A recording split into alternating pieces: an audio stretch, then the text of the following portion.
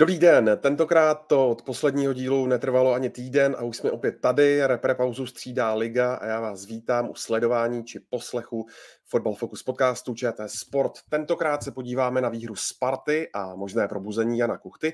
Probereme skvělou formu Stanislava Tecla, zamíříme taky do druhé ligy a rovněž na Slovensko. A na to všechno a mnohé další je tu s námi Michal Kvasnica z Deníku Sport. Ahoj Michale. Ahoj všichni, hezké pondělí. Připraven je taky bývalý ligový hráč Petr Nerat. Ahoj Petře. Ahoj kluci, všechny vítám. A je tu s námi rovněž Pavel Jahoda z webu Sport.cz. Ahoj Pájo. Ahoj Ondřej, ahoj všichni. Ondro, ty jsi nám přenastavil, ty jsi nám přenastavil úvod, který měl být jasně deklarovaný, že s Petrem jsme noví mistři české televize. No, já bych se na to právě doptal. No, tak já už to tady vyhlašuju dopředu, aby lidi viděli, že nejsme úplný kopita, tak vládci české televize jsou tady z tohohle podcastu a Petr ještě ukáže druhou záležitost, kterou si zarámuje a vyhází všechny věci, co kdy vyhrál v Lize a podobné věci, protože ty nemají vůbec takovou hodnotu, jakou trofej získal tuto sobotu. Takže Petře, dávám ti v tomhle slovo, protože tohle lidi musí vidět. A klidně můžeš teďka už vůbec není nikdy spíš... nemluv o kariéře v první lize, protože ta není vůbec podstatná. Ty jsi teďka dosáhl svého kariérního maxima. Máme tady teda ukazovat všechny svoje propriety, jo? to jsme si dneska nachystali, jo. Jenom tak já teda dostal cenu generálního ředitele České televize a je to za nejlepšího hráče, takže řadím to, to ke svým největším úspěchům ve své kariéře. Takže Ale... nemusíš platit koncesionářské poplatky, jo? No, no ne, to, teď ty ceny, co jsem všechno dostal, tak to je právě za, za, ty, za ty poplatky. Konečně se mi to vrací, aspoň trošičku teda. Když, když, už, když už tady podporu Pavla a Ondru. a další. No, každopádně, až ti někdo, Pavle, zase bude psát do komentářů, zda si někdy hrál fotbal, tak teďka máš, myslím, rázný argument pro to uh, mu říci, že hrál. No, tohle je úplně nejráznější. Neexistuje nic víc. Výborně, tak uh, blahopřeju moc. No a od mikrofonu zdraví Ondřej Nováček. Na to poslední téma eh, o Slovensku se k nám později připojí ještě Andrej Zvolenský z televize Markíza a my jdeme na to a začneme na letné, kde se více než po měsíci dočkali výhry. Eh, Hradec Králové porazili 2-1, i když to vítězství se nerodilo úplně lehce. A Michale, zajímá mě na úvod, eh, jaká velká úleva to pro Spartu vlastně je, když vezmeš potastu její předchozí remízovou šňůru. No obrovská, nemám proto lepší přívlastek, eh, takhle stručně to musím říct, protože teď to zmínil. Pět remíz, eh, nedovedu si představit další ztrátu, protože ono eh, samozřejmě Jedna věc je, že neprohráváte. To je sice hezké, ale ty body vám nenaskakují a mnohem lepší je jednou vyhrát, jednou prohrát, než pořád remizovat.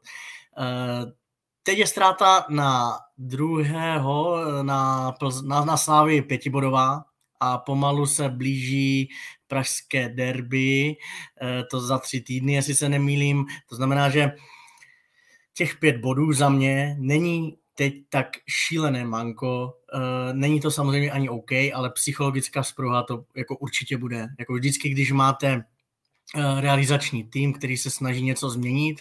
Po případě je ten realizák úplně nový, jako je v případě Sparty, eh, s novým trenérem, úplně jinou vizí, eh, mentalitou, nastavením, než co tam byl předtím, tak je třeba mít ty změny občas ideálně pravidelně, ale aspoň občas podložené výsledkem. Ten se teď dostavil, ti kluci zase tomu můžou věřit o něco víc, takže v tomhle ohledu já cítím uh, určité velké plus, nicméně byl bych opatrný o, ne, nebudu tady mluvit o nějakém zlomu, protože to, k tomu se asi dostaneme, že to vítězství bylo velmi křehké a že ještě zdaleka tam není všechno ideální, ale úleva obrovská, stoprocentně týden bude klidnější, můžou se zase připravit, neboť i ti konkurenti vlastně, co jsou před nimi, teď hrajou Evropu, nemýlím se, že kluci je to, je to teď, eh, takže eh, jo, to, z, toho, z toho mentálního hlediska dovedu si představit, že hlavně u toho realizáku se jim dneska šlo na Strahov eh, mnohem lépe. Já bych na tebe navázal, Michale, v té cestě na Strahov, že se jim šlo mnohem lépe. Ono se jim šlo mnohem lépe i z důvodu, že co jsem slyšel, tak po těch sérii remíz a řekněme ne, sérii neuspokojivých výsledků, tak se vedení Sparty takzvaně trošku trošku pokoukávalo kolem, co by mohlo nastat a respektive jak řešit potenciálně situaci, kdyby to dál nefungovalo. a údajně mělo dojít k, ke kontaktu s Vítězslavem Hlavičkou, kterého měli oslovit, jak by to viděl, kdyby pokračovalo, řekněme, nějaká ta neúspěšná nebo neúspěšné představení letenských, ale Vítězslav Lavička jim údajně měl říct, že do toho nepůjde, že to není o trenérovi. Ale jenom to, že Vítězslava Lavičku potenciálně Sparta oslovila s výhledem na to, co by mohl dělat v dalších týdnech třeba takové jdou zprávy, tak uh, ukazuje, že ta nervozita na letné byla výrazná a tohle, jak ty Michale přesně říkáš, tohle tomu trenerskému štábu může dát minimálně nějaký čas, ale hlavně trošku toho čerstvého vzduchu na dýchání a na, na práci do dalších týdnů. Petře, co ta výhra udělá s kabinou a mentalitou hráčů? Tak eh, sice se to nerodilo úplně jednoduše ta výhra, ale samozřejmě mohlo by vlít trošku sebevědomí eh, do spartanských žil a vlastně ukázka, ukázka toho, že, že, že třeba jsou fakt na té dobré cestě a, a můžou, se, můžou se samozřejmě zlepšovat a, a načít nějakou třeba vítěznou sérii. Samozřejmě každá výhra, ať, ať byla jakákoliv, k tomu se určitě ještě dostaneme, tak uh, určitě pomůže, ale zároveň bych určitě to nepřeceňoval nějakým způsobem, poněvadž, uh, jak jsme viděli, ten, ten výkon nebyl určitě optimální a vlastně si pomohli dvoma standardkama, takže, takže v té hře to bylo stále stále takový nemastný, neslaný, ale samozřejmě eh, víra se počítá, tři body jsou důležitý, jak říkal Míša, eh, dotahují se na, na, ten, eh, na to čelo, jo, ta, ta, ta díra tam není zase tak velká, takže oni v tu chvíli, v tu chvíli si zase můžou, můžou dokázat sami sobě, že, že, že na, na to čelo patří a věřím, věřím, že by, že by, že by mohli nastartovat nějakou lepší sérii, ale, ale, ale to zlepšení musí přijít ještě výrazně větší a, a do toho týmu očekávám pořád ještě lepší výkony a dominantnější výkony, než, než zatím doposled před, uh, předváděli, takže, takže uvidíme, co, co, co, jak, jim, jak jim to pomůže, ale, ale určitě ten týden bude klidnější a, a můžu se připravit na zápas v Brně. Souhlasíte, že je aspoň trochu na čem stavět, když vezmete v potaz, že k tomu vítězství Sparta došla eh, v početní nevýhodě? Já, já obecně moc ne, eh, protože jak to říct, obecně, obecně, kdybys řekl, co to znamená o týmu, co to vypovídá, když zvládne obrat po vyloučení, tak řeknu bez kontextu, že to je nějaká mentální síla samozřejmě, ale jak řekl Peťa, naznačil, tak eh, Sparta dala dva góly ze standardek, přičemž ten vítězný padl z offsideu, zase se tomu zase dostaneme a eh, těch šancí Hradce, jo, uf, uf, uf, eh, to mohlo dopadnout jako průšvihem, proto, takže mm, velký štěstí. To, co neměli s baníkem před uh, reprepauzou, tak se jim teď vrátilo plus uh, ne štěstí, ale plus uh, selhání varů a rozočích, to řeknu na rovinu. Takže t- proto já jsem jako opatrný. Jo. On, fajn, vypadá to hezky, kdo neviděl, kdo si otevře jenom nějaký online nebo live sport, tak vidí tu Virgil jako super v deseti otočit proti Hradci, ale kdo, my, co jsme to viděli, tak já si myslím, že No ne, ne, úplně bych jako nejásal. Úplně to zakončím tím, že menta, men, mentalita a psychologická vzpruha fajn, ale spousta vykřičníků za mě. Já bych zmínil zejména jeden vykřičník, který mě hodně bije do očí a to je zatím defenzíva Sparty. V čele s Jaroslavem Zeleným, který musím uznat, že je zklamáním. Když ho vidím, jak zatím působí na hřišti, tak jsem od něho čekal daleko víc, ale ale jako našel bych zase jeden takový potenciální odrazový můstek. Vždycky se po těchto výsledcích, po té jedné výhře začne mluvit, jestli je to odrazový můstek nebo ne. Michal myslím jasně naznačil, že z jedné výhry určitě nemůžeš značit, že Sparta teďka vystřelí k nebesům, ale myslím si, že pro Spartu by to mohl být odrazový můstek v jedné věci a tom, že Brian Priske, který skálopevně se nějak přesvědčil o tom, že bude hrát 4-4-2 a že mu bude fungovat útočné duo Kuchta Čvančara, tak právě tenhle zápas mu mohl možná, když to řeknu takhle, otevřít oči, že Jan Kuchta bude mnohem nebezpečnější, mnohem účinnější, když na tom hrotu bude sám, že jsme viděli daleko blíž Jana Kuchtu té své formě, na kterou jsme z jeho strany byli zvyklí, když se tam ocitl úplně sám, mohl operovat na tom prostoru sám, nikdy nemusel se přizpůsobovat uh, Tomáši Čvančarovi nebo komukoliv jinému, než to bylo v předchozích zápasech, kdy tam prostě tápal, kdy to byl to bylo tělo bez duše, pohyboval se tam jako OK, občas tam měl něco dobrého, ale do toho útočníka, kterému platíš přes milion, tak k němu to mělo sakra daleko. A myslím si, že tohle by mohla být... Pro... Jsem na to sám strašně zvědavý. Jestli Brian Priske, který i po zápase pro O2 vlastně mluvil o tom, že on má rád 4-3-3, že by to rád preferoval, což je paradoxní, že Sparta teda moc křídel při zranění Peška a dalších zdravotních potíží nepřivedla, aby teda ulehčila tuhle ideu, ale mluvil, že by radši se vydal jinou cestou. Tak jsem zvědavý, jestli se vydá právě v Brně jinou cestou, nebo uvidíme vedle Jana Kuchty Lukáše Juliše nebo někoho jiného. Ale pokud by se tak stalo, tak za mě to bude chyba. Za mě tenhle zápas by měl ukázat Spartě, že cesta k úspěchu vede jinak a vede přesto, Jan Kuchta byl na hrotu sám. Tak on to sám i Honza Kuchta říkal v rozhovoru po zápase, že, že do posava byl zvyklý hrát na uh, jednoho útočníka, že, že tam operuje sám. On je to zcela logický, jako ono se hodně těžko zvyká na, na, na tu dvojici. Uh, já bych to rozdělil do těch dvou fází. Uh, za, za prvý cením u Brena Prisko, že vlastně jako nemění ten herní styl, že i když se jim jako ne úplně daří, což je, což všichni vidíme, tak se stále drží toho herního stylu 4-4-2 a věří mu. Jo? Na druhou stranu vidíme, že to ne, prostě nefunguje, až se divím, že tomu věří, ale, ale mě naopak vyloučení Čvančary úplně, uh, úplně jako nepřesvědčí, že by se to mělo měnit, protože Lukáš Juliš je zase typologicky úplně jiný útočník než Čvančara a on v té dvojici umí operovat velice dobře a umí, umí si velice dobře vyhovět s tím druhým útočníkem. Viděli jsme to, když hráli s Adelmem Hloškem, nebo když hráli, když hráli v Boleslavi druhý poločas. Jo. I v Olomouci, Peťo, když hrával s Mojmírem Chytilem, tak taky, taky. ta dvojka byla. Je, je to tak, je to tak. A i když jsem s Lukášem sám mluvil, tak on se vlastně v té pozici těch dvou útočníků cítí nejlíp. Jo. Takže uh, by mě vůbec nepřekvapilo, kdyby v Brně vyběhli oba dva a mohlo by to pro Spartu znamenat daleko lepší výkon, než, než třeba doposavat s Čvančerou. Jo. Ale říkám, to je moje domněnka, je, je, je možná varianta, že, že prostě půjdou 4-3-3 a Kukta bude v útoku sám.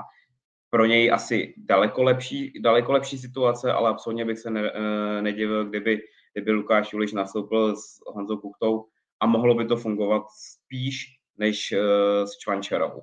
Jo. Další, a další... Ty, jsi řekl, ty jsi řekl dobrou věc.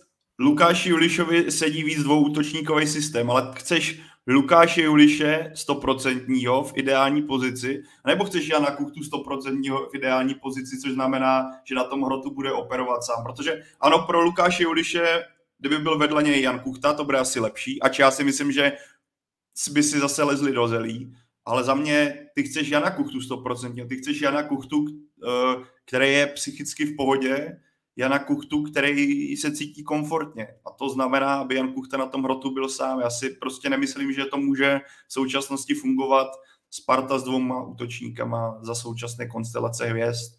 Uh, a... No jasně, ale tak ty si zase na druhou stranu, ty chceš Honzu Kuchtu v pohodě, ale nějakých tři, čtyři zápasy drží s Čvančerou dohromady, že jo? Nefunguje to, jako. To je, já rozumím, uh, jako tyhle ty dva útočníci, což je Kuchta a Čvančera, jsou, na tako, jsou tolik výrazné osobnosti a asi je trošku složitější s nima pracovat, že prostě Brian Priske podle k tomu, že se v uvozovkách samozřejmě bál jednoho z nich posadit. Jo? A proto trošku na sílu uh, nechal hrát oba dva. Jo? Teď jsem na to zvědavý. Samozřejmě pomůže tomu vyloučení, že jo? nevíme, kolik dostane Čvančara zápasu, ale byl bych hodně překvapený, kdyby to nebyly minimálně dva až tři zápasy a sám jsem zvědavý. Já, pokud Brian Priske věří tý, tomu rozestavení 4-4-2, co teďka hrál, jo, tak proč by to teď z ničeho nic měl měnit, jo, když tam toho útočníka dalšího má. Jo. Typologicky jinýho než je Čvančera, který ve 4-4-2 nebo v dvou útočníkovém systému umí hrát daleko líp než Čvančera. Těžko říct. Jo, jako bavíme se o tom, jako jak, jak to oba dva vidíme. Ano, můžeme vidět Honzo Kuchtu který ho, když ho budeš mít v pohodě a je úplně v pohodě, dal teď sice gól, ale mě ten, mě ten výkon jeho nevy, nepřipadal, že by byl zase nějaký jako suprovej. Jo? Já si myslím, že pokud Brian Prisky věří tady tomu rozstavení, i když ano, říkal v rozhovoru, že 4-3-3 má rád, uh, je to jeho jakoby vysněný rozestavení, ale proč to do teďka prostě nehrál? Jo? To je za mě prostě jakoby záhada. Tak mám nějaký vysněný rozestavení, přivedu si útočníky do toho, uh, přivedu si do toho útočníky, který vlastně mi do toho nesedějí. Jako přijde mi, v tomhle mi to přijde teda to přemýšlení úplně jako divný, jako špatně nastavený teda. Jo? Buď si přivádím útočníky do toho, abych ten systém, který já chci hrát, tam měl, anebo mám tam dva nadstandardní útočníky na ligu, který spolu kooperovat nemůžou, ale na sílu je tam držím. Teď, když mám jednoho mimo, tak přejdu na 4-3-3, nebo si budu držet zase 4-4-2 s útočníkem, který umí pracovat v dvou útočníkovém systému velice dobře a daří se vlastně celému týmu po většinu. To je samozřejmě otázka, ale nevím, přijde mi to zvláštní každopádně. No tak na to teď mají týden, na to vyhodnocení, ať jako oni si sami zbilancují, eh, co je pro ně bude větší přínos. Já si myslím, že může hrát roli i návrat Ladislava Krejčího, protože díky němu mají plus jednoho hráče do středu pole a cítím to, spíš bych se klonil k Pavlovi, ale vnitřně, jo, netroufám si typovat, jak to fakt bude. Eh, já bych eh, volil spíš jako dominantnější střed pole, třeba s Fortelným, ten by se mi tam líbil, ale jako rozumím i Peťovi, když není takový egoista, je zvyklý hrávat ve dvou, na druhou stranu chceš dostat Kuchtu do komfortu, ale to jsme si mysleli, že i když, bude, když byl Kuchta vykartovaný, že Čvančara bude taky sám na hrotu a nebyl, no, takže opravdu evidentně tam tomu systému 4-4-2 věří. Přitom já mu teda nevěřím vůbec. Když, jsme, když si projdeme těch posledních zápasů, Teplice, respektive ten systém je teďka strašně lehce načítelný. Viděl jsi, jak byl Hradec na Spartu skvěle připravený a, a takticky na, do, přejel, že jo. A to je ten rozdíl kvality toho kádru dosti výrazný. Viděli jsme zápas se Zlínem, viděli jsme zápas s Teplicemi, kdy ty trenéři přesně věděli, s čím Sparta vyrokuje a dobře se na to připravili. A najednou Sparta měla problém se Zlínem, najednou měla Sparta problém s Teplicemi. Soupeři, který má přejíždět. Jako. A i bez jakýchkoliv taktických manévrů má ten tým kvalitu na to, aby to zvládl a přesto Zlín i Teplice byli jako vyrovnaným soupeřem po výraznou část toho utkání. Za mě, za mě to prostě nefunguje, ten systém. Ne, nebo to, jak se snaží Brian Priske prezentovat, a v tomhle abych viděl potenciální odrazový můstek. Ale říká, říkáte to oba přesně. Vidíme to, že i když to nefungovalo, tak Brian Priske tvrdohlavě na tom stál teďka v poslední době, takže zároveň by mě to svým způsobem v Brně nepřekvapilo, kdyby pokračoval tohle, ten, to, to, to, ten nastavený směr a třeba by nemusel tam být ani Lukáš Juliš, mohl by tam být Martin Minčev, což by mě možná trochu dávalo větší smysl, kdyby on se pohyboval někde na podhrotu a Jan Kuchta by byl čistý hroťák. Ale za, to by bylo velice špatně. Jenom, to je já, špatně. Já, jako, já si myslím, že to není cesta, jo? ale jenom kdyby už něco mělo být na dva hroty, tak ještě bych si dokázal představit tady tohle. Ale za mě, Michale, ty jsi to řekl přesně, za mě je cesta Ladislav Krejčí, Lukáš Sadílek a někdo nad nimi, ať už je to Jakub Jankto, Adam Karabec, Krištof Daněk, něk, prostě udělat silnější střed, na kterém by Fortelný sáček, jo, tam těch spojek je hodně, co to můžou propojovat ten střed, si myslím. A tam, tam je další věc, tam další věc je, jakoby, Míša to řekl dobře, Láďa Krejčí může strašně pomoct a může, na, může obrovsky pomoct ještě Lukáši Sadílkovi, že by se mu trošku rozvázaly ruce a mohl předvádět to, co vlastně předváděl na Slovácku, kde prostě on je nejsilnější v takové živelnosti a prostě v akčním rádiusu po celém hřišti. Jo. Samozřejmě i tak, když by, když by hráli teda pouze na Honzu Kuchtu, tak Spartě celkově chybí prostě Špílmacher, hráč, který prostě uh, dokáže tu hru kontrolovat, vymyslet nějakou klovnou přihrávku, něco nečekaného prostě ve stylu Marka Matějovského. A to je ten největší kámen úrazu toho, když Sparta bude hrát na jednou útočníka že prostě potřebuje někoho, kdo uh, ty balony jako rozdá. Když bude hrát na dva, tak prostě se snaží aspoň vytvořit nějaký tlak do vápna, když je to lehce čitelný, ale, ale není ten Spielmacher za tolik, tolik jako potřeba, protože většinou hraješ přes strany a, a, a rveš to do vápna všechno. Jo. Ale, ale souhlasím s tím, že, že příchod Ládi Krejčího může Spartě pomoct v tom, že ostatním středním záložníkům typu Sadílka, Karabce, Sáčka a, a dalším může trošku rozvázat ruce a nohy, aby se víc zapojovali do té útoční fáze a být jako prospěšnější v tomhle tom, že ten střed pak bude jakoby silnější, vyrovnanější a vlastně ta hra bude Sparty víc zajištěná, ale kdo ví, co se stane ve Brně, že jo. Já bych k tomu ještě tady k tomuhle tématu dodal úplně poslední tečku a to, co netýká ani Sparty, viděli jsme Jana Kuchtu, když byl nasazený vedle Patrika Šika v reprezentaci. A já jsem vůbec nevěděl, že Patr, uh, Jan Kuchta na tom hřišti je. Za mě se prostě, on tohle nějak, němu to prostě nesedí. A, a tohle, tohle, tady tyhle případy bych čekal, že Brian Priske jako schopný trenér vezme v potaz, sedne si na tom s realizákem a skutečně to změní. A na to má, já bych to řekl takhle, má na to dva zápasy. Má na to zápas v Brně a má na to zápas s Pardubicemi doma. To jsou dva zápasy, kdy má Sparta ještě relativně papírově, ač Brno je rozjetý a je nevyspytatelný, dokáže teďka potrápit dekoho a zároveň viděli jsme Slavy, která Brno přejela, takže to je takový ten, nikdy nevíš, jak to dopadne teďka s formou Brna, se sílou Brna. Ale jsou to dva zápasy papírově, které by měla Sparta zvládnout a má dva zápasy na to, aby, řekněme, pokud se vydá cestou Jana Kuchty samostatného na hrotu, nebo Petrem nastíněným uh, stylem s Lukášem Julišem, má dva zápasy na to, aby si to sedlo. Protože pak přijde trojce duelů, který můžou být naprosto smrtelný a to nejenom pro sportu, ale třeba i pro Briana Priského, kdyby to s Brnem a s Pardubicemi nebylo ono, protože pak máš derby, pak máš Slovácko, pak máš Plzeň. A do tohohle jít v nějakým, nějaké formě, která měla, kterou měla Sparta do posud, by mohlo být jako takzvané KO, a to nejenom pro šance Sparty na nějaký lepší výsledek téhle sezóně.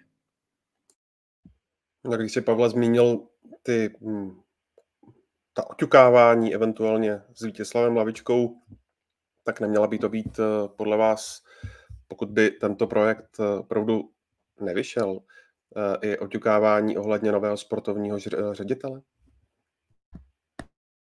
Já bych to čekal, že to tak dopadne. Proto mě to přišlo poněkud zvláštní tady tohle oťukávání, ale pokud by nedopadl projekt Brian Priske, tak už by bylo asi na místě tohle zvažovat, protože tohle byla sázka na Tomáš Rosický po konci Pavla Vrby měl čas najít ideální řešení, jak Spartu konečně z tohoto vyvést. A pokud, se ne, pokud sahal k dánské cestě a pokračuje problém nebo problémy, které jsou a budou pokračovat, to znamená rychle měnění trenérů, úplně ne tak funkční eh, dění v zákulisí, o kterém se nadále mluví, tam zase tolik se to asi nezměnilo, tak je asi na, na, na čase měnit i v tomhle směru. Ale zároveň to, tohle, to je ta informace, o které to zase je to údajně, jo, je to sice ze dvou zdrojů, ale to pořád musíme brát s rezervou, protože víš, jak, víš, jak to občas bývá, ale za, za mě pořád je na místě zmiňovat jednu věc, o které jsme se tady bavili možná s Michalem určitě, nevím, jestli tady byl i Petr, Brian Priske musí dostat pořád čas na to, aby se ve Spartě aklimatizoval, a aby se to posunulo dál. Pokud by skutečně mělo dojít k tomu, že bylo oťukávání Vítězslava Lavičky podložené na tom, že Sparta reálně uvažovala, že v brzké době, pokud by se nedařilo, by sáhla ke změně trenéra, tak, jí, tak mi přijde, že už jí skoro není pomoci, protože jako vyhodit kouče takhle rychle, dánského kouče, který s Českou ligou nemá nic společného, kterému dáš tu důvěru a zlikvidovat ho během podzimu, tak musí dojít, ne, už nevím, k čemu by muselo jít, tak jako nebylo by větší potvrzení toho, že ve Spartě to není o trenérech, ale o tom celém systému a celém provázání v klubu. Já ti, Pavle, nemám důvod nevěřit, ale vlastně ti nechci věřit, protože to by zase byl cirkus, teda jo, zase jenom měnění trenérů, vizí, koncepcí, e, přitom přesně ta otázka se jako vyloženě nabízela, Ondro já to tvrdím, v téhle názorově jsem konzistentní u baníku třeba, není to vždycky jenom u trenérech, jo? pak už je třeba ho to prostě e, řešit jinak. No. Já jenom dodávám e, takový přípodotek, že, že Daniel Křetínský po té e, poslední minulé sezóně všem fanouškům Sparty slíbil, že ta sezóna už se opakovat nebude. To je jenom takový dovětek. Eh, uvidíme, co z toho nakonec bude. Zmínili jste Ladislava Krejčího a nemůžu se nezeptat eh, na tu situaci, eh, která předcházela, těsně předcházela tomu druhému gólu, který vsítil Jan Kuchta. Stalo se tak po teči Ladislava Krejčího. Viděli to asi všichni v obývácích u televize, ve sportbarech, neviděl to jenom VAR. Jak je tohle to možné? Proto není, není, není proto vysvětlení, já budu úplně stručný, nechápu. Nechápu, protože bavil jsem se i s lidmi, kteří uh, vidí do toho, co mají za záběry VAR a mají ještě mnohem lepší jako záběry, než my uh, běžní zmrtelníci u obrazovek a když jsme to viděli my. Protýkám, že ne ze všech, ale potom, když se to uh, ukazovalo z té jedné a pak i z druhé strany, tak my, na dvou, na dvou já si vybavuju dva záběry uh, z obyčejné televize, kdy jsem, Přesně tak. Jedna z úhlu a jedna z tam jako spoza branky, kdy je vidět, jak to ten balon, jako ne, že by udělal vyloženě to, ale po té hlavě se takhle lehce po těch vlasech sklouzne, takže stručný, nechápu, nerozumím, prostě stopka, eh, ale budeme se tady bavit furt o stopkách dokola, tohle přece není možné, jo, a tohle na to nemusím být zkušený borec, jo. Tohle, já jsem fakt zvědavý na komuniké eh, Radka Příhody a na, spíš jako co z toho bude za rezultát, protože eh, nechápu a divím, nedivím se Miroslavu Koupkovi za to, jak byl naštvaný to. Na to nemusíš být odborník, na to stačí nebejt slepý, jako to je, to je jako jednoznačný, no nevím, jak...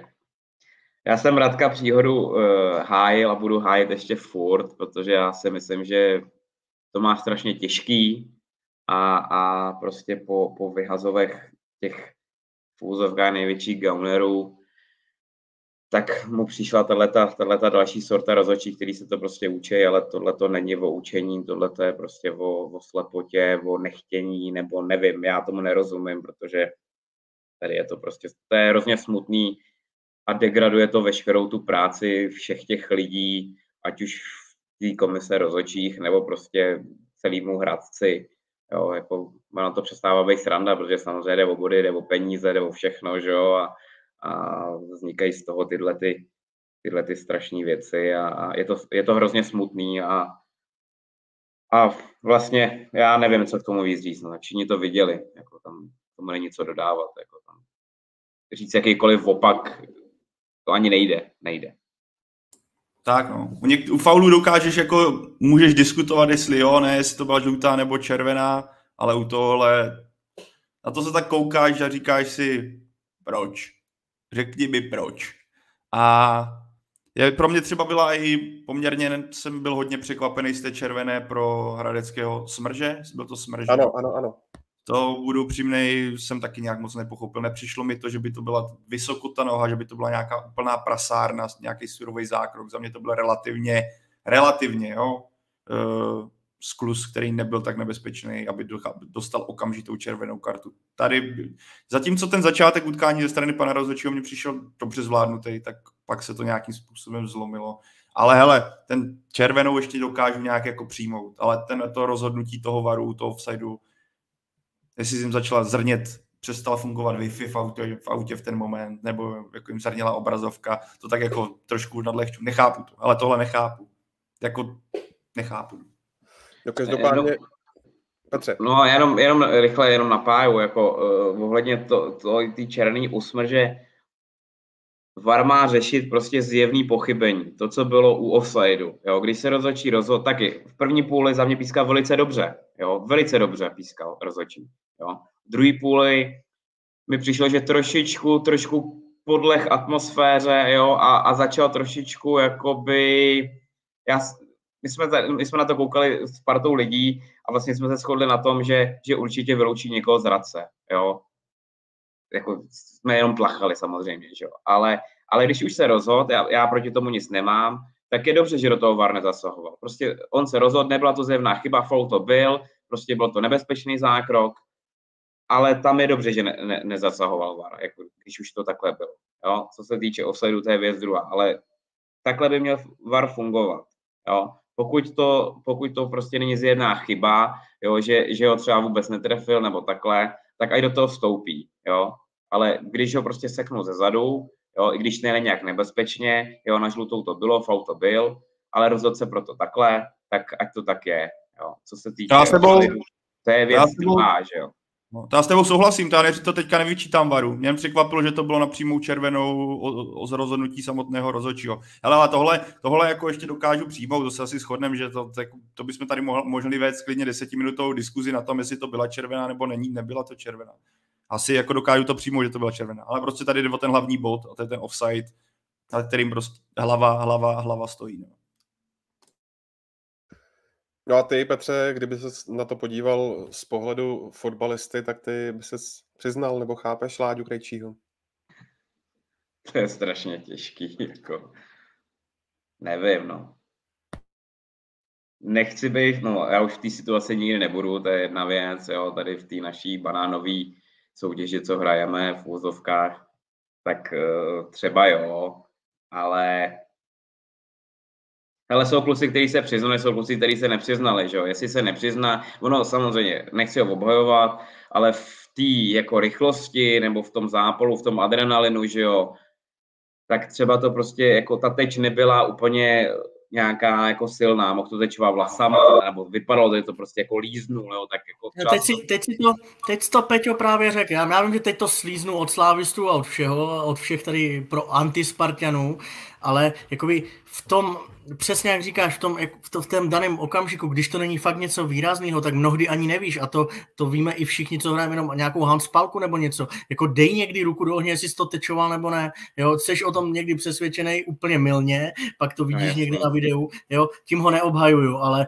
opravdu jako nemyslím, jo, já vím, teď, teď, teď je úplně jasný, že letka přijde, ale eh, kdyby ta teč byla výraznější a tak se můžeme o tom bavit. No. Hele, to, ví, to, ví to vlastně jenom on sám. Jestli on si byl vědomý toho, že to tečoval a tvrdil rozhodčímu, že přísahá to netečoval, tak on s tím teď musí žít. On teď prostě to dostává slíznout. Jo? Je to prostě o něm, o nikom jiným. Jo? Jako, jestli, jestli si to neuvědomuje, tak si to neuvědomuje. Jestli jo, tak uh, prostě pomoh, pomoh uh, svýmu týmu vyhrát prostě podvodem, jo, furt jsme tam měli ten VAR na to, aby to, aby to zrušil. Jo? Ať, ať může být ten hráč sebevětší podvodník, sebevětší prostě necharakter, tak furt tady máme technologii na to a oči, aby, aby to vyhodnotili jiný a, a rozhodli za něj. Jo? Jako spolíhat se na to, že někdo někomu řekne, hele, já jsem to, já jsem to netečoval, tak to je jako smutný, no, ale se bavíme já dál. Já, já půjdu ještě takhle dál, jako od té televize a od toho je člověk, jako si řekne, že by bylo ideální být Mirek duší na všechno přiznat. A už teďka tak ten fotbálek mám tak pro radost, takže mě to nedělá problém. Ale když jsem se nad tím snažil zamyslet, vezmeme potaz. Ladislav Krejčí, dlouhodobě zraněný, vrací se po strašně dlouhé době zpátky na hřiště, chce se prostě předvést, chce tu Spartu pozvednout. Navíc tam máš prvek toho, že ten první gol jde za ním, protože to zprasil jako kráva. Uh, je kapitán týmu, seš v desíti, pomůžeš ke gólu, který dotáhne tvůj tým na 2-1. Doká- řeknu teďka, že bych se okamžitě přiznal v tom, ty jsi to říkal Petře přesně, v těch emocích, v tom adrenalinu, ač třeba vím, že mě to ty vlasy uh, lízlo, já nevím. Hele, je to strašně le- jednoduchý a mohl bych si teďka tady udělat, mít naprostý klid, říct jo, ano, samozřejmě bych to přiznal. Já třeba si o tom nejsem jistý, nejsem si jistý, že bych to přiznal v ten daný moment, tu danou chvíli, kdy tebou ještě proletí ta euforie, že, že ten gol tě posunuje najednou ty tribuny bouří. Půjdeš, hele, já, já si, jako, dokonce bych se dokázal představit, že v ten daný moment emočně bych řekl, že, to, že bych to odpřísál. Co se mi stane, zapomene se na to za chvilku, OK, někdo mě bude mít jako necharakterního šmejda, ale v kabině vlastně budu pomůžu svýmu týmu vydělat, pomůžu spoluhráčům vydělat prachy. Jako takhle. Já zavím, že za to, někdo za to skritizuje a je to naprosto v pořádku, jen se snažím do to dát trošku jiný pohled, než takový ten idealizovaný, že by se všechno mělo přiznávat.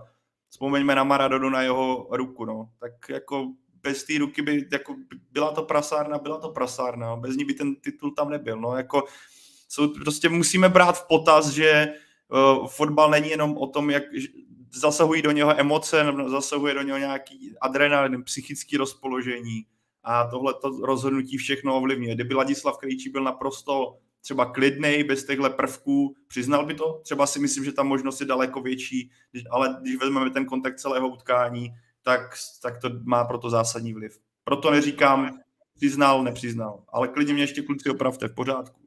Ne, tady někdo psal v komentáři, že, že je rozdíl mít jako účest takový malý kudratý květáček a pak být jako Honza Koller, jo, že, že to je cítit jinak.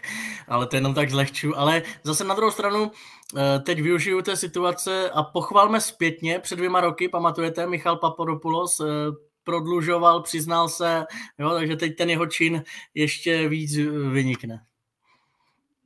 To bez zesporu. To by, ale já bych, za jakého stavu Michale to bylo tehdy? No, tak Počkej, počkej, počkej, počkej. Uh, Já myslím, že to byla remíza. Já myslím, že, dá, že dávají na 2-1, ne? A pak jo, nakonec prohráli, si myslím. Neprohráli? Jo, prohráli. Což je další prvek, co může být, že, jo, že to máš taky jinak to vnímáš s věkem, že jo. Vnímáš to, že Michal Papadopoulos, zkušený kluk, který už má to za sebou spoustu, nebyl ovlivněný třeba tím, že zavinil jeden jasný gol jako kapitán týmu. Hele, do, do, do to přizná obrovský klobouk dolů před ním. Obrovský klobouk dolů. Tohle není vůbec jednoduchý, protože to je jenom ne, nejenom, že musíš potom s tím žít sám, ale máš potom potenciálně výčitky, že o kabiny. Kdyby třeba Sparta přiznal to, bylo by to jeden, hranec by nakonec vyhrál, mohl by, pro Spartu by to bylo prohloubení zase té krize, kterou teďka měla, o to větší, přiznal by to kapitán. Já si myslím, že by mu to dali fanoušci ještě sežrat, že jo, vlastní já to vlastně svým způsobem chápu, ač může mít pro spoustu lidí teďka nálepku bezcharakterního jedince. Ale dokážu to vlastně přijmout. Jenom poslední dovětek. Eh, ten rozhodčí tím, že se ho zeptal, tak úplně tu debatu jako posunul úplně někam jinam. Eh, za mě trošku jako alibisticky, protože Peťa říká, od čeho tu máme ten var? Od tohohle. Jo, to eh, ne, že by se neměl přiznávat, ale k tomu ani nemusí vůbec dojít k nějaké komunikaci s hráčem, tak mám tam video, vidím teď, jo. Ondro, tady jen co si tady e, e, tohle si vytáhnu. Já nikoho nenavádím k podvodu, jenom se snažím vysvětlovat, jak to asi vnímal Ladislav Krejčí a proč se tomu tak stalo. A jestli, jo, jo, Pavle, to už nezachráníš, taháčky to, ve škole. To, to, už, to už je jasný, hele, já jsem to říkal, ta kritika přijde, teď mě to ujede ten komentář, ho nes, neskryju. Uh, takže hele, když si to berete takhle, že navádím k podvodům, já to asi s tím dokážu žít. Ještě mě zajímá, Michale, eh, vy jste v Deníku Sport eh, psali, že vedení Hradce zvažuje vznést eh, oficiální protest vůči výkonu video rozhodčího Václava Štěrby, se kterým už mají nějaké zkušenosti, protože tam mm, před nějakým časem došlo k nějaké, k nějaké potýce mezi, mezi ním a, a Jiřím Sabou z vedení Hradce. Tak myslíš, že mají otroci šanci uspět? A myslím si, že jo, jo, protože teď už si to fakt, to, to viděl, viděli jsme to všichni, takže asi jo, ale víš, jak to je, to je takový to jenom, ať nejsme za otloukánky zpětně, ale ty body, ten gol to, to nevrátí. Uh, zkusím zjistit, uh, až budete mluvit vy, poptám se Jirky Fejgla, Hradečáka, jestli se to nějak vyvíjí a když tak uh, se přihlásím o slovo. Tak abychom eh, tohle téma mm, Sparta versus Hradec nějak uzavřeli, eh, návrat Ladislava Krejčího, který dal dohromady bolavá záda mm, u odborníků eh, v Německu. Myslíte, že to může být zásadní impuls pro to, jak se budou vyvíjet minimálně ty dva nadcházející spartianské zápasy v Brně a doma proti Pardubicím, Pájo? Zopakoval bys, Ondro, prosím tě otázku. Já jsem si četl teďka komentáře a vypadlo mě to. Já jsem nečekal, že mi to pošleš. Jestli je to na kopnec, říkal. Nebo... Tak, tak, tak. Jak... Těžký předjímat. Jako takhle, je to, je to jistý základ a jistý psychický uvolnění po té sérii, kterou teďka Sparta měla, pět zápasů remíza, konečně vyhrál, trošku dostaneš pevnou půdu pod nohy, ač je to pořád jeden zápas. Tudíž abych z toho zatím nedělal velké, velké to správný slovo teďka hledám. Ale na Krejčího to byla otázka, Pájo. No, ano. E, nebyl, nebyla to otázka jakoby na, na no. výhru Sparty, ale na návrat Ladislava Krejčího. Jo, takhle, jestli pomůže. No vidíš, ale takže jsem tu otázku nevěděl. Já jsem si říkal, proč se ptáš na to samý. Jo, hele, dívej, Ladislav Krejčí ten první zápas rozhodně neměl dobrý pomohl asistencí, která neměla být asistence Ale dívej, vrací se ti kapitán, vrací se ti lídr do, v kabině, eh, je zpátky na hřiště. Já si myslím, že on za, zápas co zápas poroste. Teď je jenom o tom, aby Brian Priske našel ideální místo v sestavě a jak jsme tady nasínili, za mě to je troj, troj eh, systém s třemi záložníky uprostřed, kdy on bude ta šestka, bude spolupracovat s Lukášem Sadílkem. Mě tady tenhle potenciální koncept Sadílek, Krejčí 6-8 se mi strašně vlastně na papíře líbí. Petr to dobře nasínil s Lukášem Sadílkem, který bude hodně flexibilní a bude operovat na velkém prostoru. Pokud tomu tímhle směrem se Brian Priske vydá, myslím si, že z, Bra- z Ladislava Krejčího může dostat ještě víc, než jsme od něj viděli. Ale osobně si myslím, že po, poroste zápas to zápas. Tak obecně jako... před, předpoklad, no, že řádně zvoleného kapitána Mannschaft bere, ne? To asi Peťa e, tak nějak jako potvrdí, plus to znovu to, co říkal Peťa, zpevnění středu pole, i když teď mi to zase lidi omlátí o hlavu, protože ten e, gól Hradce samozřejmě šel přes něj, ale až on se dostane do formy, tak e, je to reprezentant, e, potenciál má, má výbornou obranou i útočnou hlavu, je prostě ve středu pole cítit, e, myslím, že je úroveň výš než Pavelka, když se dostane zpátky do formy, takže plus, jeden, plus jedna posila v říjnu pro Spartu. Jak říkal Michale Pavelka, jak to začal Pavel, říkal, jak říkal o úroveň víc než Pavel, říkám jsem si, viděl jsem si česko-televizní turnaj, že tam byl skutečně dobrý výkon. No, já radši to nebudu komentovat, ten turnaj, ale eh, spíš teď jako možná přemýšlím až zbytečně moc o té Spartě, ale ono možná nahrává jedna věc, že Pavelka vůbec nebyl ve špatné formě a myslím si, že za tu dobu, co ve Spartě byl, tak hrál pomalu nejlíp, nebo po tom návratu. A ono, když by se možná, kdyby možná ještě se eh, horšil výkony Jaroslava Zeleného, tak využitelnost Vladislava Krejčího i na stoperu, tím, že to je levák a může, může využít tu pozici, pozici levého stopera, ale samozřejmě Sparta by tím přišla o ten střed hřiště, nebo ne úplně, ale přišla o ten střed hřiště, kde vlastně on je nejsilnější a kde jim nejvíc pomůže, ale spíš jenom taková jako myšlenka, alternativa, kdyby náhodou Herda Zelený pokračoval v těch výkonech typu, co se, co se stalo v sobotu, ale, ale úplně o to nepředpokládám, ale jenom, že to je ta alternativa toho, že by mohli využít Laďu Krejčího i na stoperu, kdyby, kdyby to bylo potřeba. Nebo třeba v tříobrancovém systému, kdyby náhodou se Brian Priska rozhodl úplně o jiné rozestavení samozřejmě. A nebo toho, z toho Krejčího udělat jako osmičku součkovskou, protože on góly dávat umí, ještě větší jako pole působnosti, dotahovat se z druhé vlny do vápna a nad ním desítka sadílek, ale těžký. To je jako, to je velice dobrá myšlenka, Mišo, nebo jako vůbec, vůbec bych se tohle rozestavení i v Brně nebál, kdyby se rozhodl o uh, jednoho útočníka, a to Honzo Kuchtu, využít Pavelku, vedle něj Krejčího a na ně dát sadílka, kde, kde on může využít ten potenciál daleko líp, než na té pozici číslo 8, si myslím. Že, že bude víc flexibilní a bude víc, víc využívaný po celém hřišti, což, což je cíl, co jsme tady už rozebírali. Ale za mě velice dobrá myšlenka teda. Děkuji ti, děkuji. A už teď jsme vlastně viděli, že na to, jak je vlastně Brian Priske eh, konzervativní, tak eh, do toho trošinku hrábnul, protože místo Mejdra nastoupil Wiesner. Eh, abychom to nějak uzavřeli, tak v sobotu od čtyř na Zbrojovce Sparta. Jaký stav to bude podle vás? Nechme mluvit Brňáka, ne?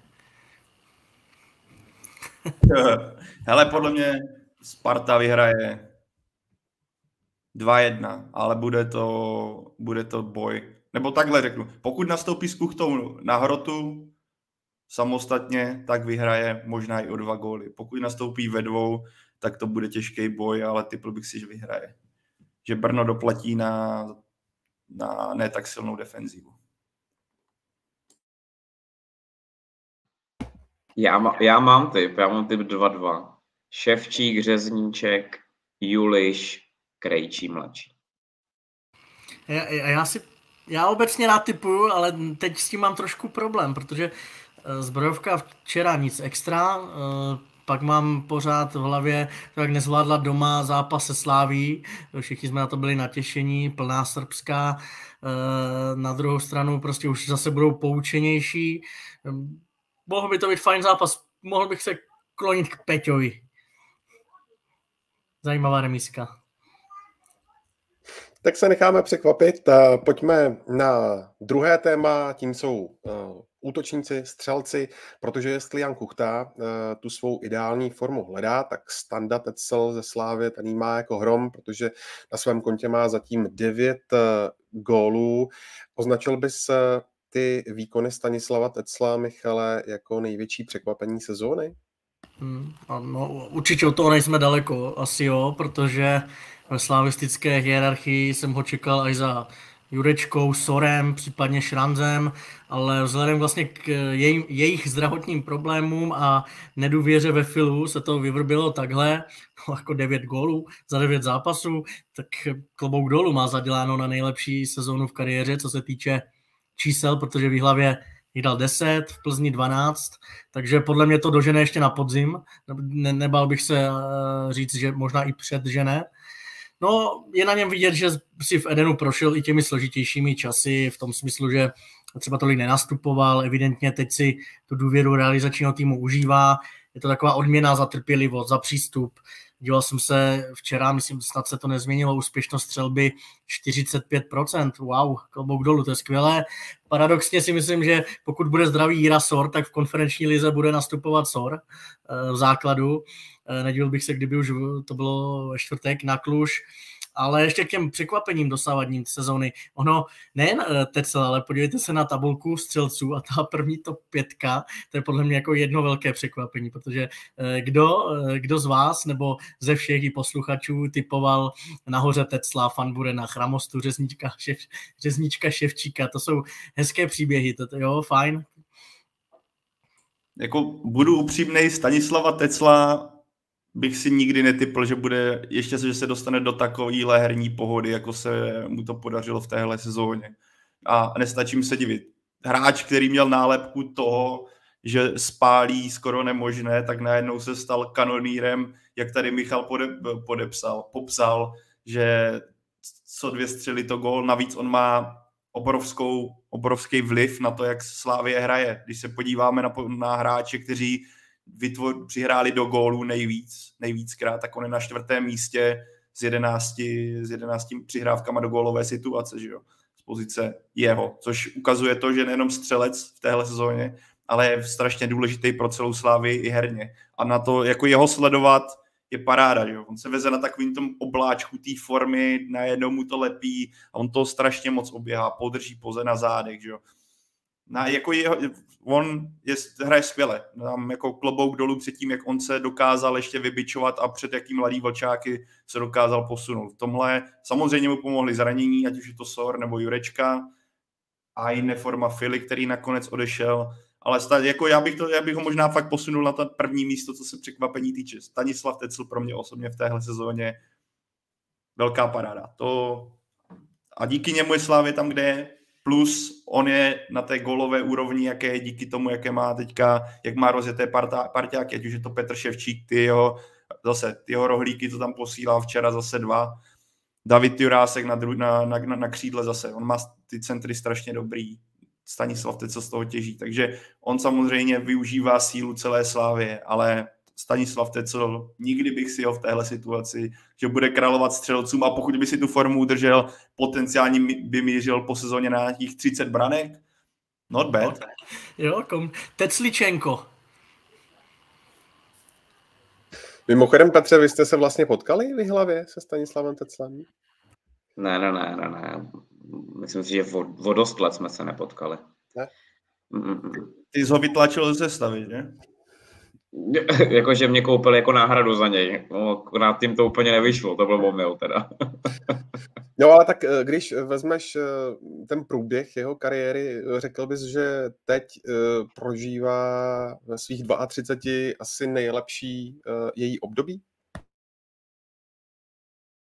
Jo, v období asi jako, co se týče golu, tak jo, samozřejmě, že jo, ale tak jsou k tomu nějaký jako důvody, že jo, proč, proč on teď ty góly dává, že už to říkali kluci, jsou to zranění jeho, jeho vlastně konkurentů, jo.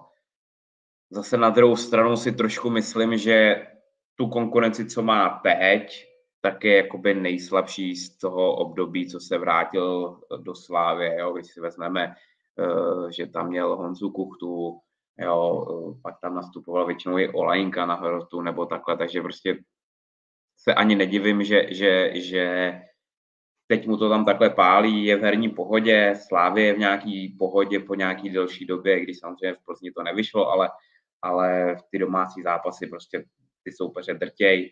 Jo, myslím si, že tomu pomáhalo hodně to, co říká Pája, že Standa Tecl je prostě typický, typický vápnař, řekněme, že, že je silný ve vápně a centry Juráska nebo, to, nebo Ševčíka nebo i Douděry, jo, ho, ho hledají a, a on prostě to využívá a je prostě strašně, on na kolik málo šan, nebo kolik má gólu, tak na to spotřebuje strašně málo šancí. Prostě hrozně produktivní, to, co říká Míša, eh, jeho, jeho úspěšnost je strašně vysoká.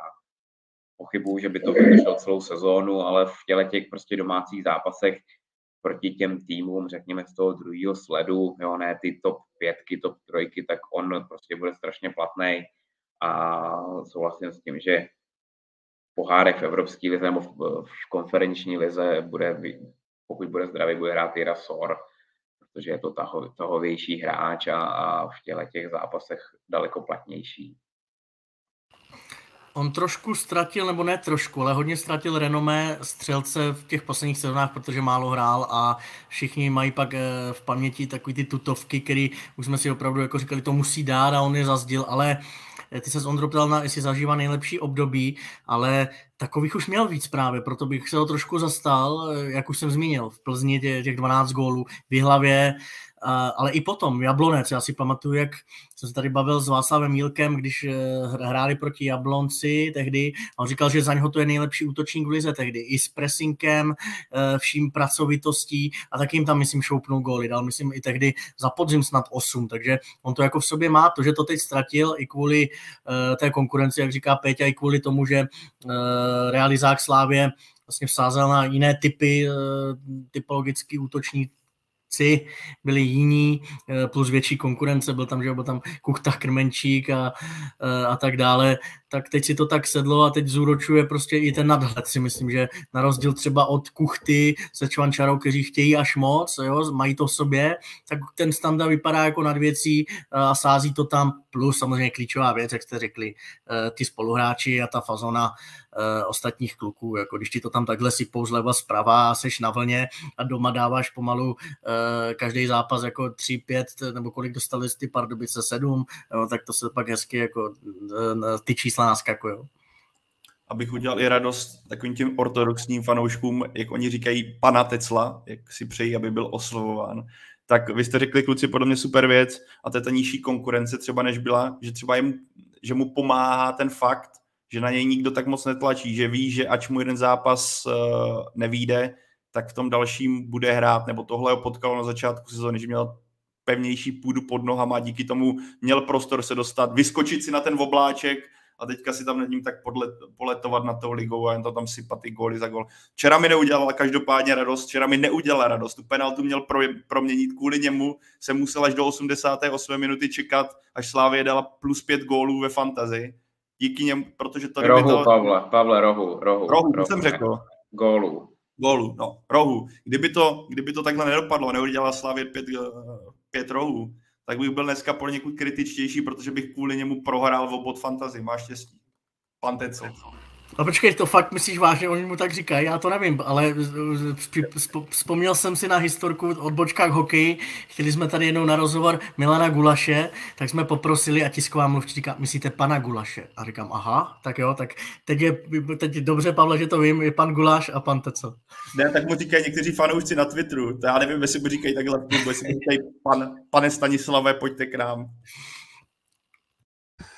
Když eh, Michal Petře říkal, že hm, teď slovo maximum je 12 gólů a podíváš se, jaké je datum 3. října, tak eh, myslíš, že to eh, s prstem v nose překoná?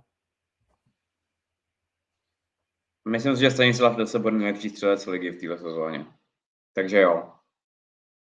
Pokud samozřejmě se mu nestane nějaký vážný zranění, což si nikdo nepřeje, ale myslím si, že bude nejlepší střelec ligy a chceš tip zase, kolik dá gólu? No určitě, pojď. tak jich dá 16. To trošku brzdí, to, to, to, to ten, trošku ten mráček půjde dolů, ale já jsem jako zvědavý. To, jako, prostě Haaland to není, který ti dá 40 gólů letos, jako, bohužel, jako to, standu mám rád, ale, ale Haaland to není, ale nejlepší střelce vyhraje, protože oni, když si udrží formu a aspoň jakž tak, že chápu, že nebude ta forma celosezóní nějaká velká, tak prostě on, jak to říká Míša, on to v sobě má a ty spoluhráči mu to dokážou připravit. Takže budeme všichni střelec ligy, si myslím. Že ne, nevidím, jako z těch střelců, co tam jsou nahoře, pochybuju, že by si udrželi takovou tu velkou výkonnost, protože ten, ten klub jí bude mít kolísavo, jo? ať je to Fan Buren, ať je to, ať je to Kuba Řezníček. Jo? Nevěřím tomu, že by někdo dokázal držet uh, jako s ním krok, když se od začátku sezóny nechyt Čvančera s Kuchtou. Jako.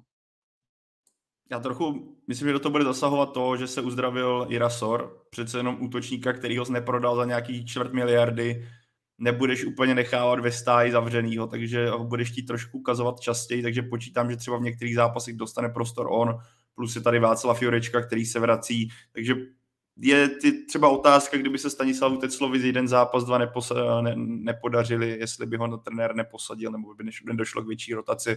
Myslím si, že během sezóny to určitě přijde, ale taky bych si typl, že tahle sezóna bude pro Stanislava Tecla, co se individuální statistiky týče, uh, životní. A já si myslím, že i on za to, co udělal pro nejenom že pro Slávy, ale i pro Plzeň tehdy, kdy vystřelil výhru nad Neapolí nebo pomohl jí k postupu přes Neapol a jakou kariéru on měl a jak vlastně takový, řekněme, pokornej vůči té pozici, kterou on má, i když já chápu, že ona ta pokora je taky vykoupena pěkným platem, to si nalíme, že, že vlastně to není, jako každá mince má dvě strany, tak si to zaslouží takovou sezónu, že takhle mu to vystřelí nahoru.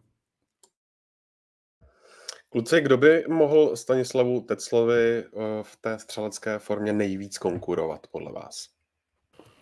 No teď se na to díváme, jak říká Peťa, jako Tomáš Chorý, ale tam to taky není úplně jako sniper, navíc se uzdraví pak Kliment eh, Basy, taky si myslím, že tam dojde k rotaci. Chramosta Fanburen to nevydrží, šéf uh, Řezníček, oni můžou dát deset ti kluci gólu, si myslím úplně v klidu, ale aby to jako bylo 15 plus, tak jako tím, že ten slabý rozjezd měli ti Spartani, tak ono samozřejmě jedním hetrikem se můžeš nakopnout a vystřelit, ale mm, jako je to je docela odskočený a tím, jak se ta Slávia prezentuje, nevidím člověče, nevidím nikoho. Já tam vidím jedno jméno, ty jsou teda Míšo zmínil, jo, ale bude samozřejmě zase záležet, že se bude zdravý a to je Honza Chramosta, který hmm. k tomuhle má podle mě ze všech těch hráčů nejblíž, jelikož i co z vyjádření Davida Horejše, on na něj strašně sází, strašně mu věří a on mu to teda teď splácí, jo, ale víme, že Honza Chramosta toho umí i strašně moc zahodit, což nám v kariéře několikrát ukázal, ale z toho seznamu, co si teď jako, co jsme říkali, nebo říkal si ty, tak mi jediný vychází vlastně on, nebo co k tomu má nejblíž. Zbytku úplně nevěřím, jako taky, taky ne. Že nikdo z nich není typický střelec vlastně, jako, jo. Kuba Řezníček je v Brně, prostě nevěřím, že Brno bude na, na takový vlně celou sezónu. Jo, Jablonec se naopak teď zvednul, ten tým mají velice, velice dobrý, ale já tam jiný jméno taky nevidím, protože přesně jak jsme říkali. No, Puš, puškáč, se, puškáč se zasekl, navíc ta Bohemka je taky taková náhodou dolů. No, to, Pavle, co máš za jméno? No já jsem chtěl jenom říct, že tím pádem po desátým kole mi vlastně chcípl můj tip na nejlepšího střelce sezóny, že jo? protože jsem před sezónou typoval Jana Kuchtu, že bude útočit na toho prvního fleka a jestli tam nerozjede od brněnského zápasu, kdy by měl hrát na tom hrotu sám, jak já říkám, tak od té doby, jestli nerozjede velký rošambo, tak už to asi nedožene a ten typ mi úplně nevíde. Ale hele, to je tak jako pěkný příběh s tím Stanislavem Teclem, že udělá ten jako střelecký třeba výkon své kariéry a bude nejlepším střelcem sezóny, že vlastně, mě to, vlastně se tak zlobit nebudu, že mi ten typ nevyšel. To je vlastně takový pěkný příběh, jako i s nálepkou paliče dokáže nakonec udělat takový číslo. Zmínili jste Jiru eh, Sora, který už vlastně včera nastoupil na pár minut a Jindřich Trpšovský říkal, že proti Kluži dostane větší minutáž. Zajímá mě ještě jedno jméno, které tady padlo v komentářích a to je Václav Jurečka. Eh, samozřejmě s přihlednutím k tomu, že byl taky zraněný, ale hmm, nemyslíte si, že to zatím vypadá na trochu fail, Michale?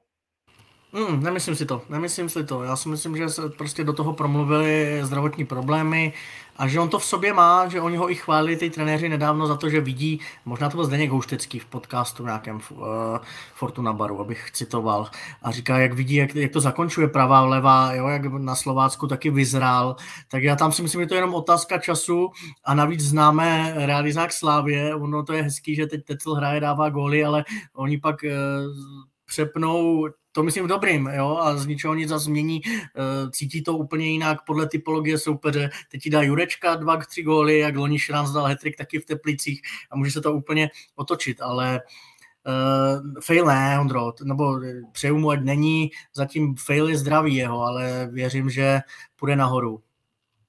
Tak a já bych do tomu dodal, i kdyby tahle sezóna třeba ze strany Václava Jurečky nebyla dokonala a nerozjel se do nějakých větších obrátek, tak já si pořád myslím, že Václav Jurečka je natolik kvalitní hráč pro Českou ligu, že můžeme ho vidět třeba za rok úplně ještě o stupínek výš. Tohle, jako jeho přestup bych rozhodně failem neoznačil.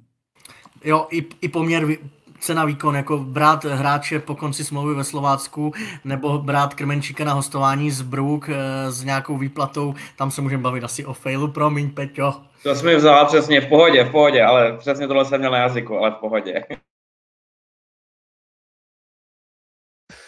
Co říkáte kluci na to, Petře, že se na těch eh, čelních místech eh, v tabulce pro střelce umistují hráči nad 30 let? O čem to podle tebe svědčí? No, jako je to asi, nechci říct náhoda, ale prostě ne, nebude, se, ne, nebude to nějaký jako pravidelný asi. Ale na druhou stranu vlastně tak jako každý hráč se nějakým způsobem vyvíjí, jo, prostě nejsou to, nejsou to mladí Janci, který, který eh, by nezachovávali chladnou hlavu v zakončení, dokážou si počkat na to svoji šanci. Prostě jsou to ostřílení už ligoví hráči v dnešní době, jo, hodně zkušený, ty týmy na něj spoléhají a, a vlastně oni, oni za tu kariéru si prošli situacema, který, který uh, prostě jsou nenahraditelný. A v tom zakončení je to obzvlášť tak, jo, prostě víme, podívejme se na Davida Lafatu, že jo, to je jeden z nej, největších příkladů toho, jak člověk může vlastně do střelce dorůst a, a, věk, a prostě ten největší, ten největší Eh, lauf měli až takhle prostě kolem tady toho věku. Jo, takže vlastně není to žádný překvapení a prostě ta vyhranost a těch několik desítek u někoho stovek zápasů prostě je znát a, a ty, ty situace kolikrát už zažili a umějí se v nich, umějí se v nich prostě prosadit a vědí, co od toho čekat. Takže jako pro mě to není vůbec žádný překvapení, ale nemyslím si, že by to mělo být nějaký jako pravidelný, pravidelný, pravidelná věc eh, prostě v budoucnu. Já bych to řekl, Michal na mě možná naváže, eh, já bych to možná shrnul do tří bodů.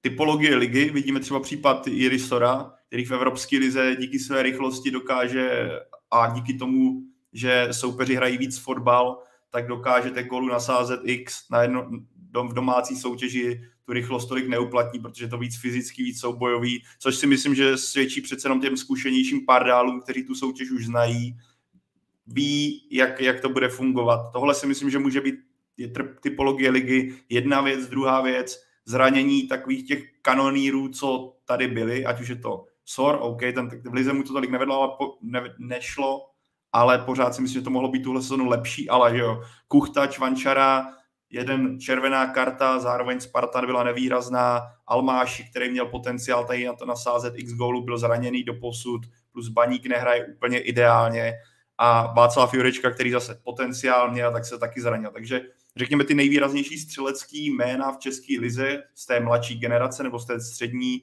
měli nějakou, nějakou potíž, což je další faktor. A ten třetí je, že český fotbal neprodukuje úplně takový ty extrémní bombardáky, kteří by to hnedka od mladého věku sypali gol za golem. Možná mě teďka kluci oparaví, že jo, vzpomeneš si Patrika Šika, který ale tento rozjel, že jo, až po přestupu do Itálie, že by tam nasypal jako toho miliardu, ale jinak pokud tady někdo vykoukne hodně mladý, tak buď odchází a ty kluci, co tady začínají jako o, to, o sobě dávat vědět, že jo, ať už je to Sejk, Kozák, řekněme, že jo, ty začátky, a ještě bychom asi mohli pokračovat, mě, mě kluci doplňte. Tak to není úplně takový, že by ten převyšovali ten ten eh, standard českoligový spíš jako se tak do něj dorůstají, je to takový pozvolný. Že to, je, myslím si, že to dají ruku v ruce s tou typologií ligy i s tím, co produkuje zatím český fotbal, co se útoku týče. Vidíme to i na nominaci, že jo. Dostal prostor, dostal se dodatečně do toho uh, standard Tecel, ten pan, pan Tecel, teďka už budu říkat do, dneška, do konce dnešního podcastu. tak, uh, ale ten má formu, že dostal se tam doležel z Polska, že v Polsku, že um, a vidíme, že prostě ten, to, to šíře těch možností není tak velká. Ale klidně mě doplňte, oprav, opravte, budu jedině rád. Ne, tak není co moc opravovat. Já mám jako svůj takový interní pohled na to, že v Česku moc mladí útočníci, stejně jako brankáři, prostě nedostávají prostor. Eh, Čvančaru už neberu za mladýho, ale pak tam jsou ti Sejkové, Filové, Vechetové, Kozákové a ti prostě tu minutáž nemají. A to se stačí podívat prostě jenom v rychlosti na ty, na, na ty mm, kádry, na ty soupisky, tak v Pardubicích je Pavel Černý a tak dále, jo, tak eh, chcou tam mít, eh, mnohdy rozhoduje pro ty trenéry třeba jako i mm, nějaká zkušenost, nějaký uhrání balonu, jak má ten Pavel Černý, místo aby podrželi nějakého mladého, měli tam Hufa, eh, vlastně tu, tu důvěru moc nedostal, pak chtěl změnit prostředí, nakonec je v Dukle jo, a tak dále. Je něco jiného taky, je tam velký tlak, to asi Peťa taky potvrdí, protože oni musí mít čísla, jako je hezký být eh, mladý a mít 10 zápasů, jeden gol, to je asi jako slabý. No. Eh, pak Volomouci je dvojice, chytil Rusek, ale 23 let, to už taky neberu za mladý a pak prostě eh, teď je Chramosta před Sejkem v Jablonci, jak říkal Peťa, mají to těžké je těžký něco jiného hrát pravý křídlo a něco jiného brankáře nebo hroťáka, protože tam prostě se očekává, že budeš mít čísla jako v golech a v nulách. Michal, na na Pavla Černýho bych Petrovi nesahal, on chodí spát v jeho dresu, to je jeho pyžamo, a je to milovník Pavla Černého, tam jdeš hodně do tenkých let. no, tak to je všeobecně známý, že my jsme s Pavlem kamarádi, takže jako já ho kritizovat ani nemůžu. Ne, ne, to si dělám samozřejmě legraci, jako já si myslím, že oni si sami uvědomují, že tam je to jako letos velice špatný. Ale zcela správně si to Míšo řekl, jako ono, jakmile jsi útočník a máš dostat nějakou důvěru prostě v delší, v delší časový, jako časový úsek, tak prostě musíš vyprodukovávat něco, no. Což jsou góly, asistence, nebo být prospěšný aspoň pro tu hru v tom směru, že je vidět, že jako seš, seš jako nápomocný těm ostatním a vytváříš jim ten prostor, no. Což si myslím, že u nás věřím, že už teď jo, v dnešní, jakoby, eh, v dnešní době, kdy, kdy máš k dispozici prostě datovou analýzu a tyhle ty věci, tak, tak se to líp odhalí, než když na to koukali trenéři pouze očima a ty viděli v kolence góly asistence 0-0, tak to hráče tolika prostě ne, nepodržej tak, jak by třeba měli. No. Já si myslím, jako k tomu asi něco říct, jako to, tam, tam si de facto řek oprávněný ty důvody, proč, proč kolikrát nedostávají tolik příležitostí ty mladí. Kor v útoku, jo, všude jinde, když to řeknu blbě, je podržíš spíš, než, než, eh, než v pozici útočníka, když nemáš čísla. Ještě Michale, když tě tu máme, eh, nemůžu se nezeptat na Ladislava Almášiho, který vlastně teď eh, po absenci dlouhodobé se konečně zapojil do hry, když z toho byla prohra doma proti Budějovicím 1-2, ale vlastně v nebývalé ofenzivní sestavě, protože tam vedle něj nastoupili Jiří Klíma a Nemanja Kuzmanovič. Jak to vidíš? Myslíš, že by se mohl alespoň třeba přiblížit těm 16 gólům z minulé sezóny? Já jsem se ho na to ptal v pohárovém utkání v Kroměříži v repre pauze, když tam nastoupil poprvé vlastně v sezóně na soutěžní minuty. On říkal, že se to dá i za 15 utkání. Zdravé sebevědomí mu nechybí, eh, to se mi líbilo. Ale mm, teď je to asi zvláštní říct po těch neproměněných eh, tutovkách a prohře 1-2 s Budějovicemi, ale mně se líbil. Byl hodně prostě cítit a to, že mu to tam nepadlo, jasně beru, je to jeho chyba, je to jako když stoper udělá uh, nějaký fatál, ale je cítit, jo, a on až nabere zápasovou praxi a herní jistotu, tak z podobného utkání odejde minimálně se dvěma góly, o tom jsem jako přesvědčen.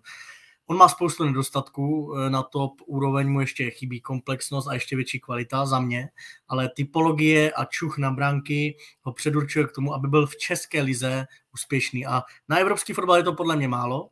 Eh, kdyby si ho, dejme tomu čistě hypoteticky vzala Slávě, tak v konferenční lize podle mě, nebo v evropské lize, ne v lize mistrů úplně, ale eh, tam by měl podle mě problém. Ale ta česká liga, i ta jednoduchost, ten styl, ať už to byl Ondřej Smetana, nebo i teď Pavel Vrba, není to nic jako extra složitého. Je to dostaň balon na křídlo a sypej to tam. Zleva Fleischmann s, Pavli, s Plavšičem, zprava Defe s, Kadou, s, s Kaduhem a jako když tam máš dva nebo jednoho dvoumetrového, druhý má metr 90, tak to samozřejmě k tomu eh, jako se nabízí a s takovým XG, který teď měli eh, s metrikou očekávaných gólů, jako není možné, aby příště, když si vypracují tolik šancí, neskorovali, nebo on neskoroval a dal jen jeden gól. Jo, takže já si myslím, že tomu pomůže, že určitě tam ale nějaký kusy přidá už teď na podzim ale jako dohnat to, jako když dá 10 gólů ještě celkově eh, v sezóně,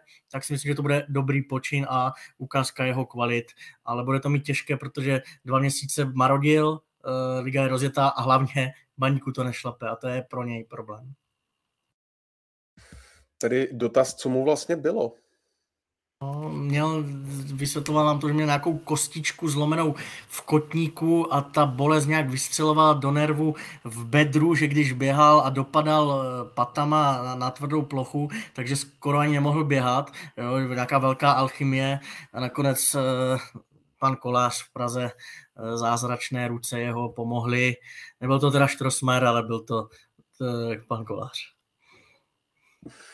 No, když se podíváš na mm, to současné umístění baníku v tabulce, který je vlastně v tom barážovém pásmu a nečekají ho vůbec snadní soupeři, protože teď jede do Liberce, pak má Slovácko a pak na Viktorku. Tak jak vidíš budoucnost Pavla Vrby? Nechá si ho pan majitel Brabec?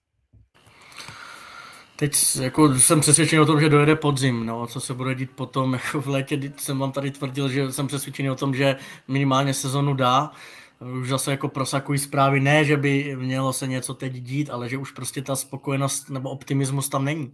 Jo? Že rychle vystřídalo nějaký ten počáteční uh, entuziasmus z velkého jména, z ulovení velké ryby, samozřejmě z uh, takového z toho ješitného podpisu, ukázali jsme všem, že umíme udělat vysněného trenéra, tak eh, vystřídalo to prostě zklamání, rozčarování, není to jenom o výsledcích, je to i o práci, je to i o znalosti hráčů, svých i soupeře, o, o přehledu České ligy obecně, o pomoci s vytipováváním posil, o analýzách eh, eh, soupeře, protivníků, jo, taková ta každodenní práce, prostě si myslím, že není úplně stoprocentní, že naopak třeba asistent David Oulehla, ten dělá jako první, poslední, ale nějak se to zatím jako nepotkává.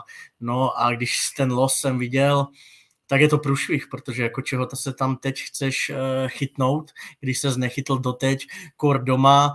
Já vím, že paradoxně se říká, že mnohdy je lepší jedna ty silnější, ale já bych napočítal na prstech jedné ruky povedené poločasy, to se ani nebavím o celých zápasech, jo, a do toho započítávám i tu kroměříž a úplně všechno jako ve směs velký trápení. Teď paradoxně prohrá, spousta šancí, OK, zápas blbec, Laco Almáši to řekl přesně, ale eh, jako velký špatný, poslední taková myšlenka rozvedu, bylo by to jiné, byl by na tom baník hůř, kdyby byl v bráně 18-letý hrubý, kdyby hrával na stoperu pojezdný, kdyby byl vpředu Buchta s Jaroněm, se Smékalem a ten věkový průměr byl o něco nižší. Jako já si sám pro sebe dneska jsem eh, řídil hodinu z Ostravy a říkal jsem si, jako, jestli by to vůbec bylo horší, anebo už by to bylo minimálně stejné, ale budující na další sezónu a vyplatí se to příští, přes příští, tak jak to bylo dřív z Bystroni, z Ličky, eh, Mariolička, Svěrkoš a podobně.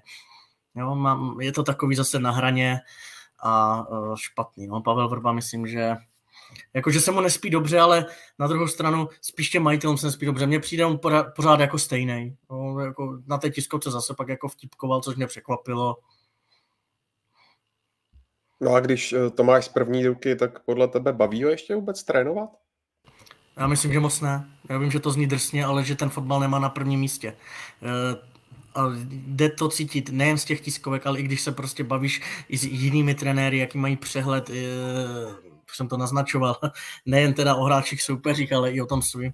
On teď třeba větička ze soboty, on řekne, že nemá statistiky svého, záp- svého týmu z minulých zápasů tak jako eh, David Oulehla na tom dělá od rána do večera, projíždí si eh, všemožné datové analýzy, navíc jim tam analytická firma eh, pomáhá, jo, jako velmi aktivně, a on ti řekne prostě na rovinu, že se přiznává, že, že teď, teď se mu zdálo, že ta převaha byla uh, samozřejmě větší než v minulých zápasech. Jo? Zdálo se mu to správně a za B dodá, že nemá statistiky z minulých zápasů. Tak buď je to samozřejmě, uh, neber, ne, nemusíme to brát úplně doslovně, že by se třeba přeřekl, ale co máme informace jako všichni okolo, tak uh, to spíš než přeřek vypadá na prostě uznání vlastní reality, vlastního vztahu k tomu fotbalu obecně, k nějakému chtíči ještě trénovat, k energii, eh, k, jako k tomu nastavení asi být jako ještě lepší.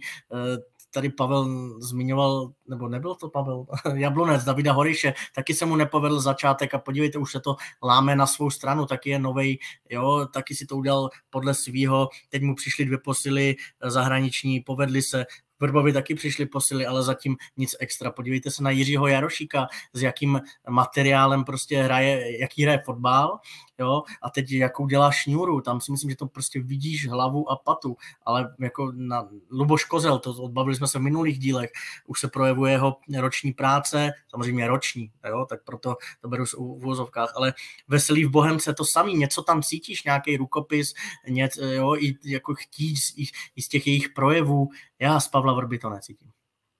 Já bych, Michal, jenom navázal na tebe s Jabloncem, takovou už jenom krátkou tečičku téhle části. Eh, my jsme se o tom bavili, co to je 10 dní, 10 dní zpátky nebo 14 dní zpátky. U posledního ligového podcastu jsme řešili právě Jablonec a mluvili jsme o tom, že ty dvě zahraniční posily, které na severček dorazily, se hodně povedly a Jablonec posunuli dál, že přesně zapadli do toho stylu fotbalu, kterým se chce prezentovat David Horejš.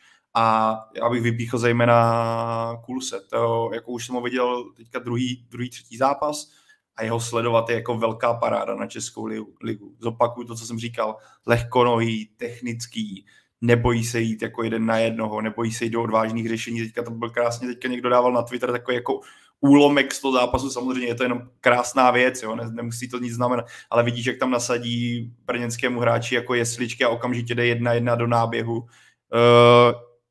nevím, jak tam na jak dlouho tu smlouvu má, někde jsem četl, že to má být jenom do zimy, nevím, jestli to bude trvat díl ale rozhodně tenhle kauf na Českou ligu je až skoro abnormální, jak, jak, jaký hráč dorazil do Jablonce.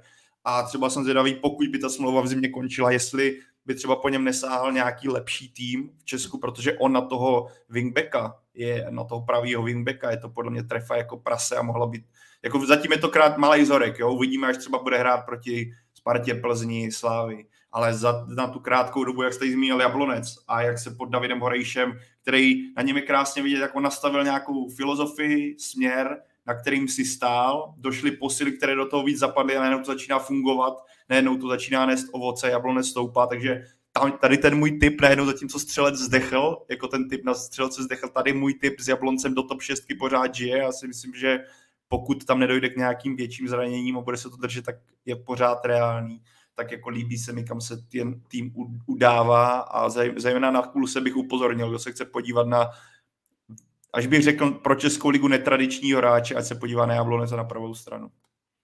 Eh, to by nevyšel Santos, tak už máš nového oblíbence, teda předpokládám. Ne, za Santos, za Santos se zatím ještě budu bojovat a to jo. si když tak pak vyžeru, až ho, uh, až ho Slávě prodá. Ale já si pořád myslím, že on Slávy má pořád co dát, na to, na to je dostatečně kvalitní hráč, že si to musí v hlavě srovnat. Dobře, dobře, tak budu, budu se těšit na rozuzlení teda. Do konce podzimní části. Michal je, Ondro, ještě dodá, Michal taky jako věří Santosovi, to je to... Tady Věřil. jsme na Možná už spíš. Ty jsi ho potopil tak brzo, jo? Hele, to já, to já si pořád myslím, že ještě, tam, ještě to může přijít. Do konce podzimní části zbývá nějakých šest kol. Ehm, myslíš, Petře, že Pavel Vrba, eh, ještě poslední otázka, skončí dříve? Ne. Nemyslím si, jako, že by to něčemu pomohlo teď jako do konce podzimu. Jako, to je podle mě to je podle mě jako nesmysl. A kdyby se k tomu uchýlili, tak jako mi to přijde jako cesta, cesta do pekel trošičku, ale, ale jako odvolává Pavla Vrbu teď, kor ještě před tím losem, co tady zmiňoval Míša, jako to je, to mi ničemu nepomohlo vlastně. Jako. Baník se, asi protr, Baník se asi protrápí do konce podzimu a pak si to můžou nějakým způsobem analyzovat a říct si co a jak dál, ale, ale myslím, že do konce podzimu se nic měnit nebude. Pomůže jim příchod eh, Almášio nebo uzdravení Almášio, ale, ale pochybuju, že by, že by ničeho nic jako nastartovali nějakou sérii výher. Ale Pavel Vrba zůstane podle mě jako trenér Baníku do konce No kdyby ne, tak Václav Brabec tím obviní sám sebe, protože podpis Pavla Vrby je čistě, nebo byl čistě jeho záležitostí. To byla eh, one man show majitele a teď si myslím, jako, že možná trochu lituje. Tak, eh, máme před sebou třetí téma, jelikož vedle první ligy je uh, rozita liga druhá. Uh, zajímá mě, Pájo, jak zatím ten průběh a tu vyrovnanost hodnotíš a vzhledem k tomu, že líšení vede, tak si asi spokojen. Uh, začnu tvou první otázkou. Mě to svým způsobem zase tolik nepřekvapuje. Uh, ve smyslu toho, když se podíváme celkově na druhou ligu, tak tam není žádný tým, který má potenciál být naprostým hegemonem a papírově by měl dominovat. O, jako jestli u někoho jsem třeba čekal, že bude mnohem výraznější a že právě na tom prvním místě bude, to bude Karvina a Michal myslím, že řekne k tomu svoje, ale tam, tam zatím si to očividně sedá. Bylo taky zajímavý si přečíst v deníku rozhovor s Jaroslavem Málkem, který tam pro mě poměrně otevřeně mluvil o tom, že si to zatím nedokáže sednout i kvůli tomu, jak trenér často mění sestavu a že zatím ty naše oblíbené automatizmy tam nejsou a je to problém eh, sleského klubu, co se týče defenzivy i dalších prvků hry. A, ale osobně Karviná si myslím, že časem půjde na první místo, protože když se ještě přišel Lukáš Budinský a ten kádr je našlapaný natolik, že v porovnání se zbytkem té soutěže je někde jinde a je to jenom o tom, aby si to, aby, aby naskočili na tu vlnu a pak si myslím, že to pojede a postoupí do první ligy. Nevidím tam úplnou alternativu toho, kdo by měl jí dát. Ale zároveň, jak říkám, nepřekvapuje mě, že, to, že tam není nikdo, kdo by byl takhle extrémně výrazný, protože tam není nikdo až tak silný. A klíšní, hele, samozřejmě, jako je to těžší, to jako, co ti budu jako bývalý hráč povídat. Uh, to já jsem se snažil zjišťovat třeba nějaký informace, proč to tak šlape, a že, se, že prostě od začátku sezóny líšení, i přesto, že odešli třeba Ondřej Ševčík, že jo, kapitán, byly tam výrazné ztráty, co se, to, co co se děje, že to tak jako v Brně pořád maká. A právě mi říkali, hele, skvělá kabina, podařilo se udržet jako dobrou atmosféru, což je hodně odlišný. My tady mluvíme o nějaký český kabině, jak je to možná překonaný prvek, ale když se podíváme na klub, jako je Líšeň, takový ten rodinný, který pracuje s nízkým rozpočtem, ty kluci jsou, nevydělávají velký peníze, ale spíš tam mají vizi toho, že pokud se předvedou, tak je ten klub pustí dál. Vidíme to teďka u Kučery, který hraje v Hradci hrává pravidelně a hrává podle mě velice dobře. Ševčík zamířil taky do Hradce, Rolinek je teďka právě v Karviné, ale tam přišel, že byl v Boleslavi, teďka je v Karviné a tam je se teda těžce zasekl. Uh, Málek je v Karviné, kde přešel do toho profesionálního fotbalu daleko víc, protože v Líšní si udělal jméno, že jo, takže v Karviné určitě nebude mít málo. A tohle je motivace pro ty kluky, co dělá ta kabina. Další prvky, Ševčík odešel jako lídr, uh, ale říkali mi, hele, začíná se tvořit, noví lídři vznikají, povedl se brankář, Tomáš Vajnar je tam, tuším, ty jsem si zapsal, Tomáš Vajnar, že z Jablonce, který ho strašně chválí, povedl se doplnit kádr, přišel, přišel Sokol, že ho na křídlo, který, který skvěle funguje s Lutonským. Líšeně v loňský sezóně měla obrovský problém na křídlech. Tam prostě byly díry, tam se to lepilo Šimonem Šumberou a kluky, kteří prostě na tohle nejsou zvyklí. Teďka přišel přišel Sokol, vrátil se Reteno, že jo, který byl na Žižkově, takže kde kam sáhnout a, a poved, začal to padat útočníkům. Po odchodu Jana Silného pryč, tehdy do Jablonce, Líše najednou neměla toho střelce. Ať už to byl Zikl, nebo to byl Tutu, to byly jako takový jako gólově nevýrazné postavy. Teďka přišel Vandas, že jo, který hrával eh, ve vyše, na Vyšehradě, pak byl myslím na Žižkově a ten se chytl skvěle, že jo, díky tomu líčení táhne, ať se podle mě nečekalo, že bude mít takhle výraznou roli, tam se podle mě čekali, že to bude vyrovnaný uh, s, se Ziklem, ale tomu to sedlo a celkově ten tým prostě si, jako zatímco o Karvine se můžeme říct, že tam se to pořád hledá, Líšeň dobře doplnila kádr a ta atmosféra, ty kluky žene ku předu. Navíc oni nemají tlak, já jsem se bavil, jaký teda mají ambice, jestli to je postup, jak ty říkáš, první místo. Říkal mi, hele, je prostě, že ne to, že tady nemá jasný cíl, my na postupem, to nikdo neřeší, to je prostě takový jako bonus, že jsou první. Mají to taky v hlavě, teďka jsou daleko od záchrany, oni můžou hrát naprosto s čistou hlavou, což jim pomáhá. Ale osobně si myslím, že Líšeň půjde trošku jako ještě dolů, a, ale bude se pohybovat kolem špičky, co mě dělá radost. Za mě prostě druhá liga je pro Líšeň naprosto ideální. Já doufám, že jako tam mě, ideál samozřejmě každý chce výš, ale pro mě by byla strašná škoda, kdyby Líšeň šla do první ligy, protože by musela na srbskou a ten je útulný stadionek na tu druhou ligu naprosto ideální, zajde si tam na klobásu, na dobrou, na takovou tu pohodu na kraj Brna. A kdo si chce udělat pohodový výjezd, ať si zajde do Líšně, myslím, že nebude Michal už tam byl, Petr tam určitě někdy pojede, to je jako... Ale tolik Líšní, ale ta, prostě jim to šlape a vezou se na nějaký dobrý vlně a dobrou, dobré kabině. Nikdy, Pavle, tam nepojedu. Nikdy. Tam, tam mě nic nečeká pěknýho. Tak mi pověz, co tě kde čekalo pěkného, eh, v jaké druholigové štaci, Petře? A tak to rozděl bych takový do, do, do, do, dvou, do dvou úspěšných uh, angažmá, tak na začátku Bohemce, vlastně, kde jsem teprve začínal, uh, měl, pomohlo, že jsme, že jsme vlastně sestoupili do druhé ligy. A Joška Weber s Tomášem Požárem mi, s Tomášem Požárem mě tehdy dali jako šanci. A vlastně uh, se tvořil celý nový tým, zůstali, zůstali vlastně jenom Radek Sňozík. A povedlo se nám tehdy postoupit, tuším, že se Znojmem hned zpátky do ligy, jsem se pak nějakým způsobem tabloval, ale a pak druhá fáze samozřejmě zajímavá, že už to bylo něčem jiným, že už jsem byl trošku zkušenější a starší, tak byl rok v baníku, že jo, tak jsou, to jsou zkušenosti a, a, a samozřejmě zážitky, na který se, na který se nezapomíná.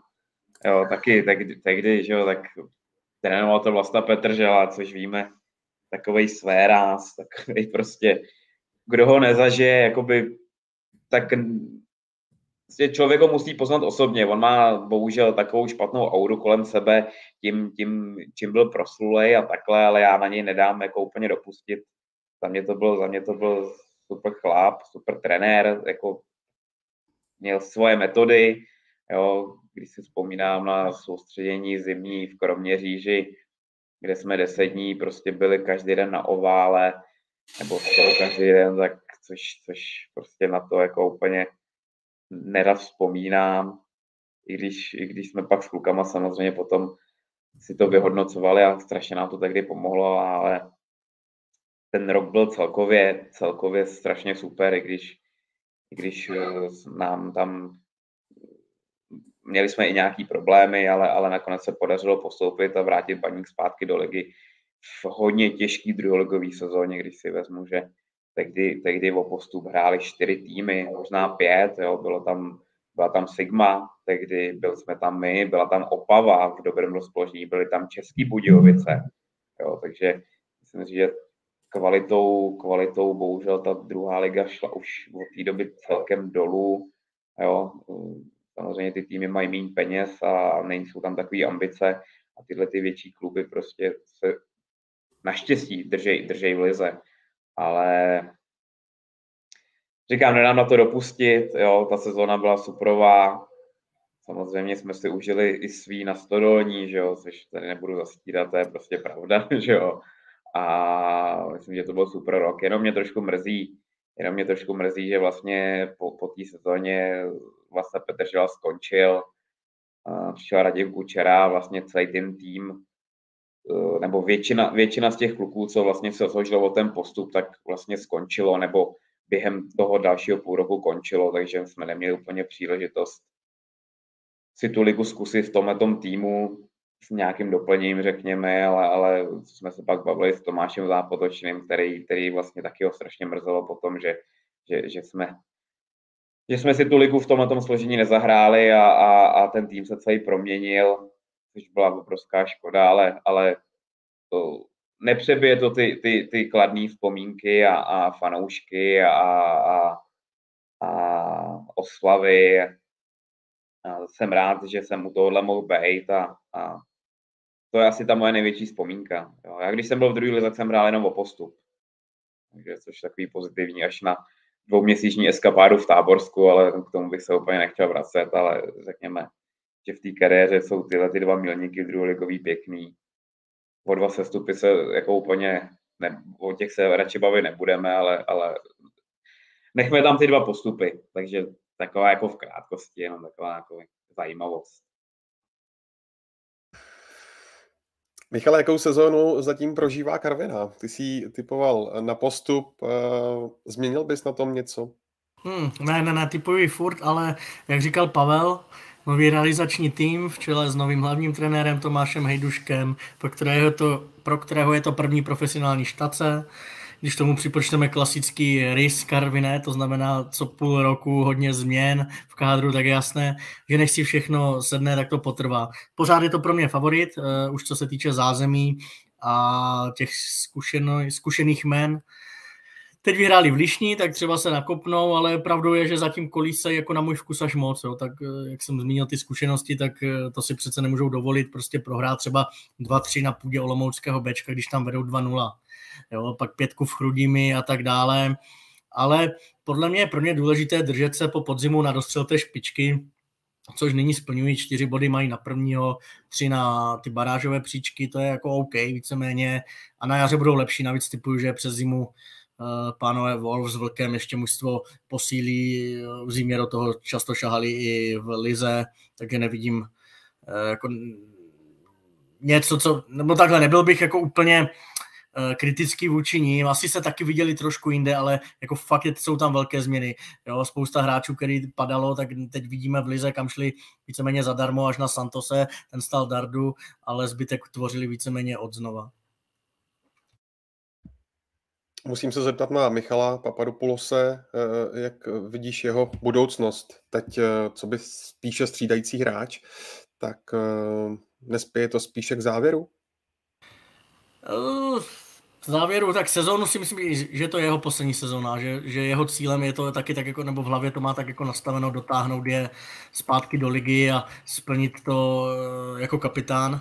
Byť kapitán samozřejmě spíš střídající, ale tak je to jednoduché. No. Z lavičky 19-letého Nigerice Rafia Durosin mi ho neprodáš a ve dvou spolu jim to moc neklape. Stačí tak? Druhá je příbrám. Petře, co uh, říci k ní? Uh, myslíš, že uh, by to na postup mohlo vít, nebo ne? Já musím říct, že jsem hodně překvapený, jak příbram nakonec to. Já jsem je viděl v létě, když hráli generálku na Bohemce, kde jako nehráli úplně špatně, ale, ale co jsem viděl skladbu toho kádru, tak prostě už to není ta příbram, která to byla předtím. A i po tom začátku, který se jim vůbec nepoved, tak jsem si říkal, že bude, budou jako horko těžko se třeba zachraňovat nebo hrát někde v půlce tabulky, ale tyjo, úplně teď jsem koukal na ty výsledky, se nakoply a teď mají krásnou šňuru výsledků a za mě bylo obrovský překvapení. Myslím si, že možná největší překvapení letos z druhé lize, co se týče tabulkového postavení.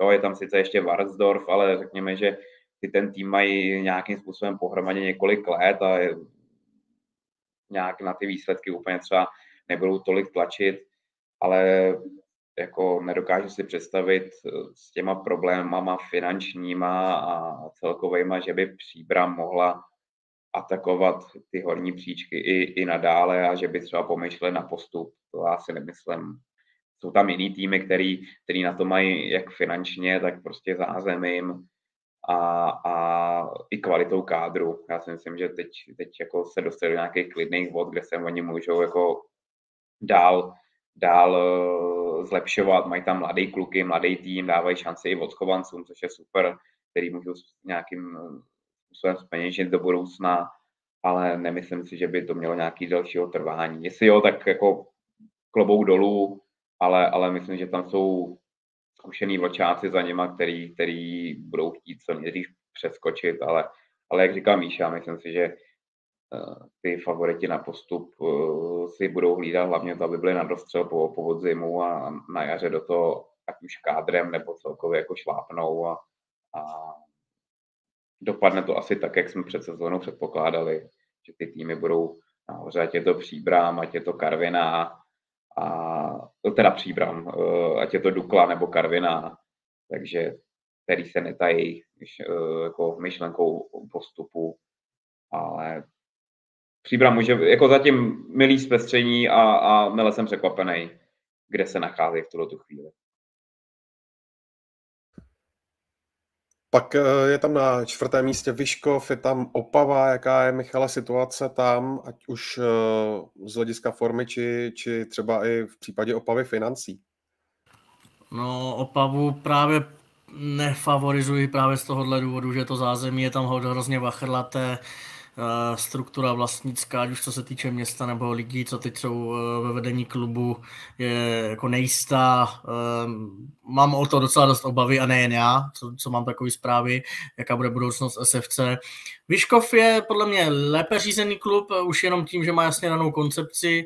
Jo, byť mě nedávno jeden člověk přímo z klubu pobavil větou, když jsem se ho ptal, co ten postup, jo, když majitel Eh, Kamerunec žijící v USA Kingsley Pungong eh, na tiskovce před začátkem sezony právě řekl, že to je eh, cíl, tak říkal, co bychom tam dělali, když nemáme ani dostatek rozlišováků, jo? takže ono to asi tak nebude úplně jako horký, nebo ber, samozřejmě to byla s nadsázkou, ale zajímavý kluky tam mají, jo? je tam ten Kanakimana, Fofana, Alegue, pak Český jádro, pochválil bych trenéra Trousila, je tam, kus, eh, je tam 8 let, kus práce udělal, teprve si sice dodělává profi licenci, ale dělá si to tam podle svého, klapeto, mm, dobře zapadli mladí slávisti, Kínský s Matisem a ti cizinci vidí příběh Tyžanyho, který se z Výškova dostal víceméně do ligy mistrů do Plzně, takže e, nějaká jako zkušenost e, matatelná tam je, mně se to líbí, jak to mají nastaveno. Oni vůbec nemluví o odchovancích, co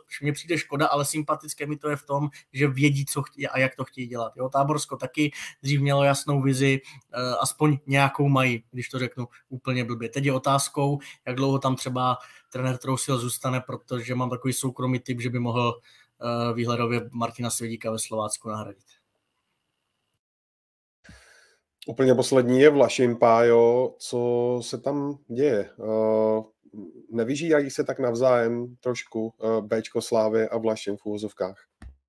Tak určitě to bude mít jako vliv na to, že jo? protože najednou druhý tým, druhé lize máš tým, myšleno Slávě, z kterého si kdykoliv ty kluky může stáhnout do Ačka, nemusí být závislý na tom, že je pošle do Vlašimi a minimálně půl roku na ně nebude moc sáhnout, což ti dosti výrazně ovlivní uvažování, koho pošleš do Vlašimi koho pošleš do vlastního Bčka. Tohle si myslím, že je určitě prvek toho, proč Vlašim je tak dole, ač teda jsem absolutně nečekal, že to bude až tak špatný bodově, ale když se podíváme na tu vyrovnanost té tabulky, tak ono trošku to naskočí a myslím, že Vlašim půjde nahoru. Ale obecně, jestli jsme se tady bavili o tom, že, bo Michal to správně i zmiňoval, je v Karvine se hodně to změnilo, přišel nový trenér, uh, zvyká si to, ve Vlašimi nový trenér nepřišel, ale vidíme, kolik hráčů že ho odešlo. Přišel Ning, uh, Ning že odešel do Teplic, Icha odešel, si to vypisoval, kdo ještě odešel, Zlatohlávek odešel, že jo, Matěj Jurásek odešel a už se nevrátili. Některý kluci se vrátili potom zpátky zase na hostování, ale těch změn tam bylo spoustu, že jo, přišli, řekl bych, i hodně zkušení, uh, ať už to byl Zdeněk Folprek, že jo, Svoboda, který byl v Lize, Smejkal, který prošel ligou v Jablonci, uh, Kulhánek, který byl ve Spartě, že jo, v Budějovicích. Je to takový, jako vznikl tam takový mix, který v mých očích si pořád ještě zvyká na to, jak, jak správně hrát spolu. Martin Hiský si myslím, že je trenér na svém místě a že až se tohle, až to, se to trochu víc zajede, tak Vlašim půjde nahoru, i když nečekám, že by to měl být útok zase na top trojku, jako se to dařilo v poslední sezóně. ale to asi ani ve Vlašimi jako, jako hlavní cíl není. Ale pokud se nepletu, tak ty jsi dělal rozhovor s Petrem Hradou, je to tak.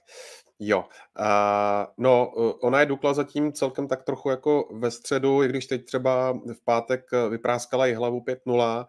Uh, I sám vlastně kouč Rada říkal, jak je druhá liga strašně uh, vyrovnaná, tak uh, jaký jsi z něj měl při tom rozhovoru uh, pocit a jak myslíš, že se ta, ta štace v Dukle bude dál vyvíjet? No, myslím si, že to jako nebude bůh ví co. Eh, pasoval jsem je sice na barážovou příčku ke kar, nebo pod Karvinou, ale mám mm, jako výrazné obavy, aby to vůbec to ta moje predikce vyšla, protože z nich necítím dobrý pocit herně, ani, mm, ani z trenéra, prostě taky si myslím, že už to nejlepší má za sebou.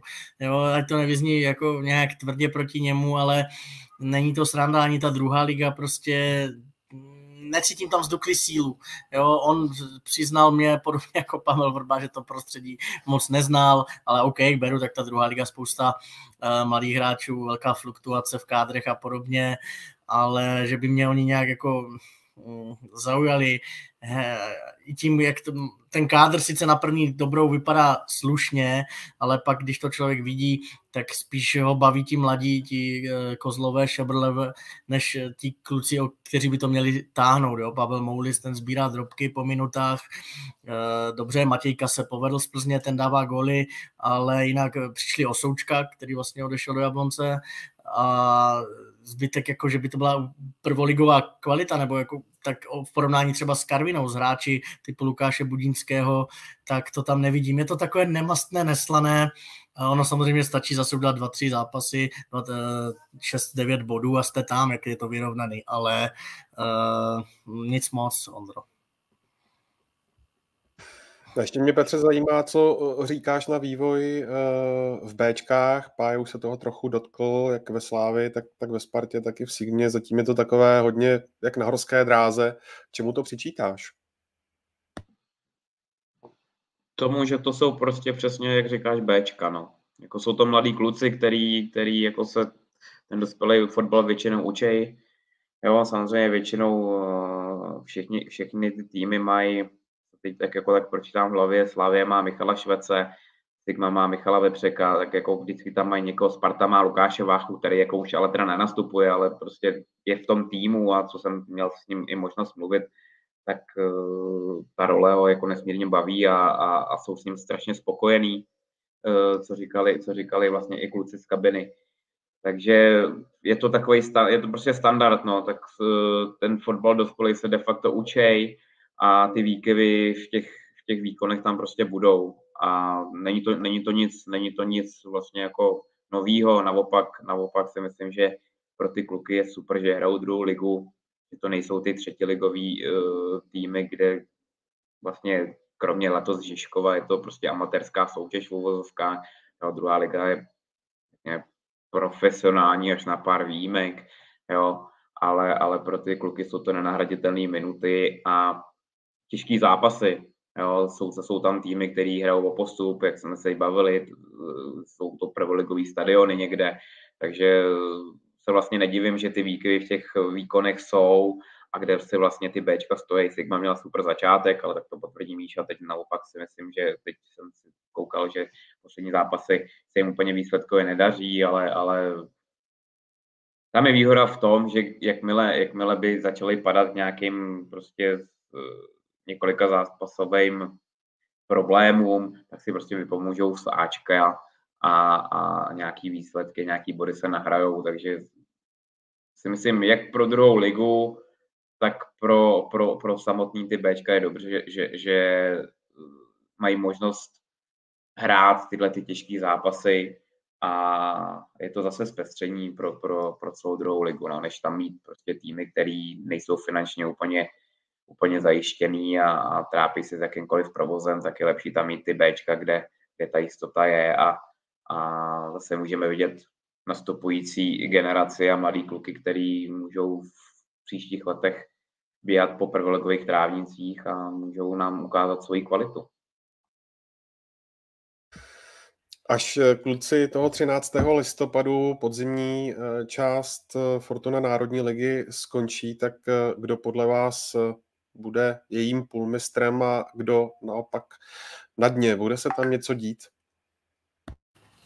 Na mě to zůstane nahoře Líšeň, dole Vlašim.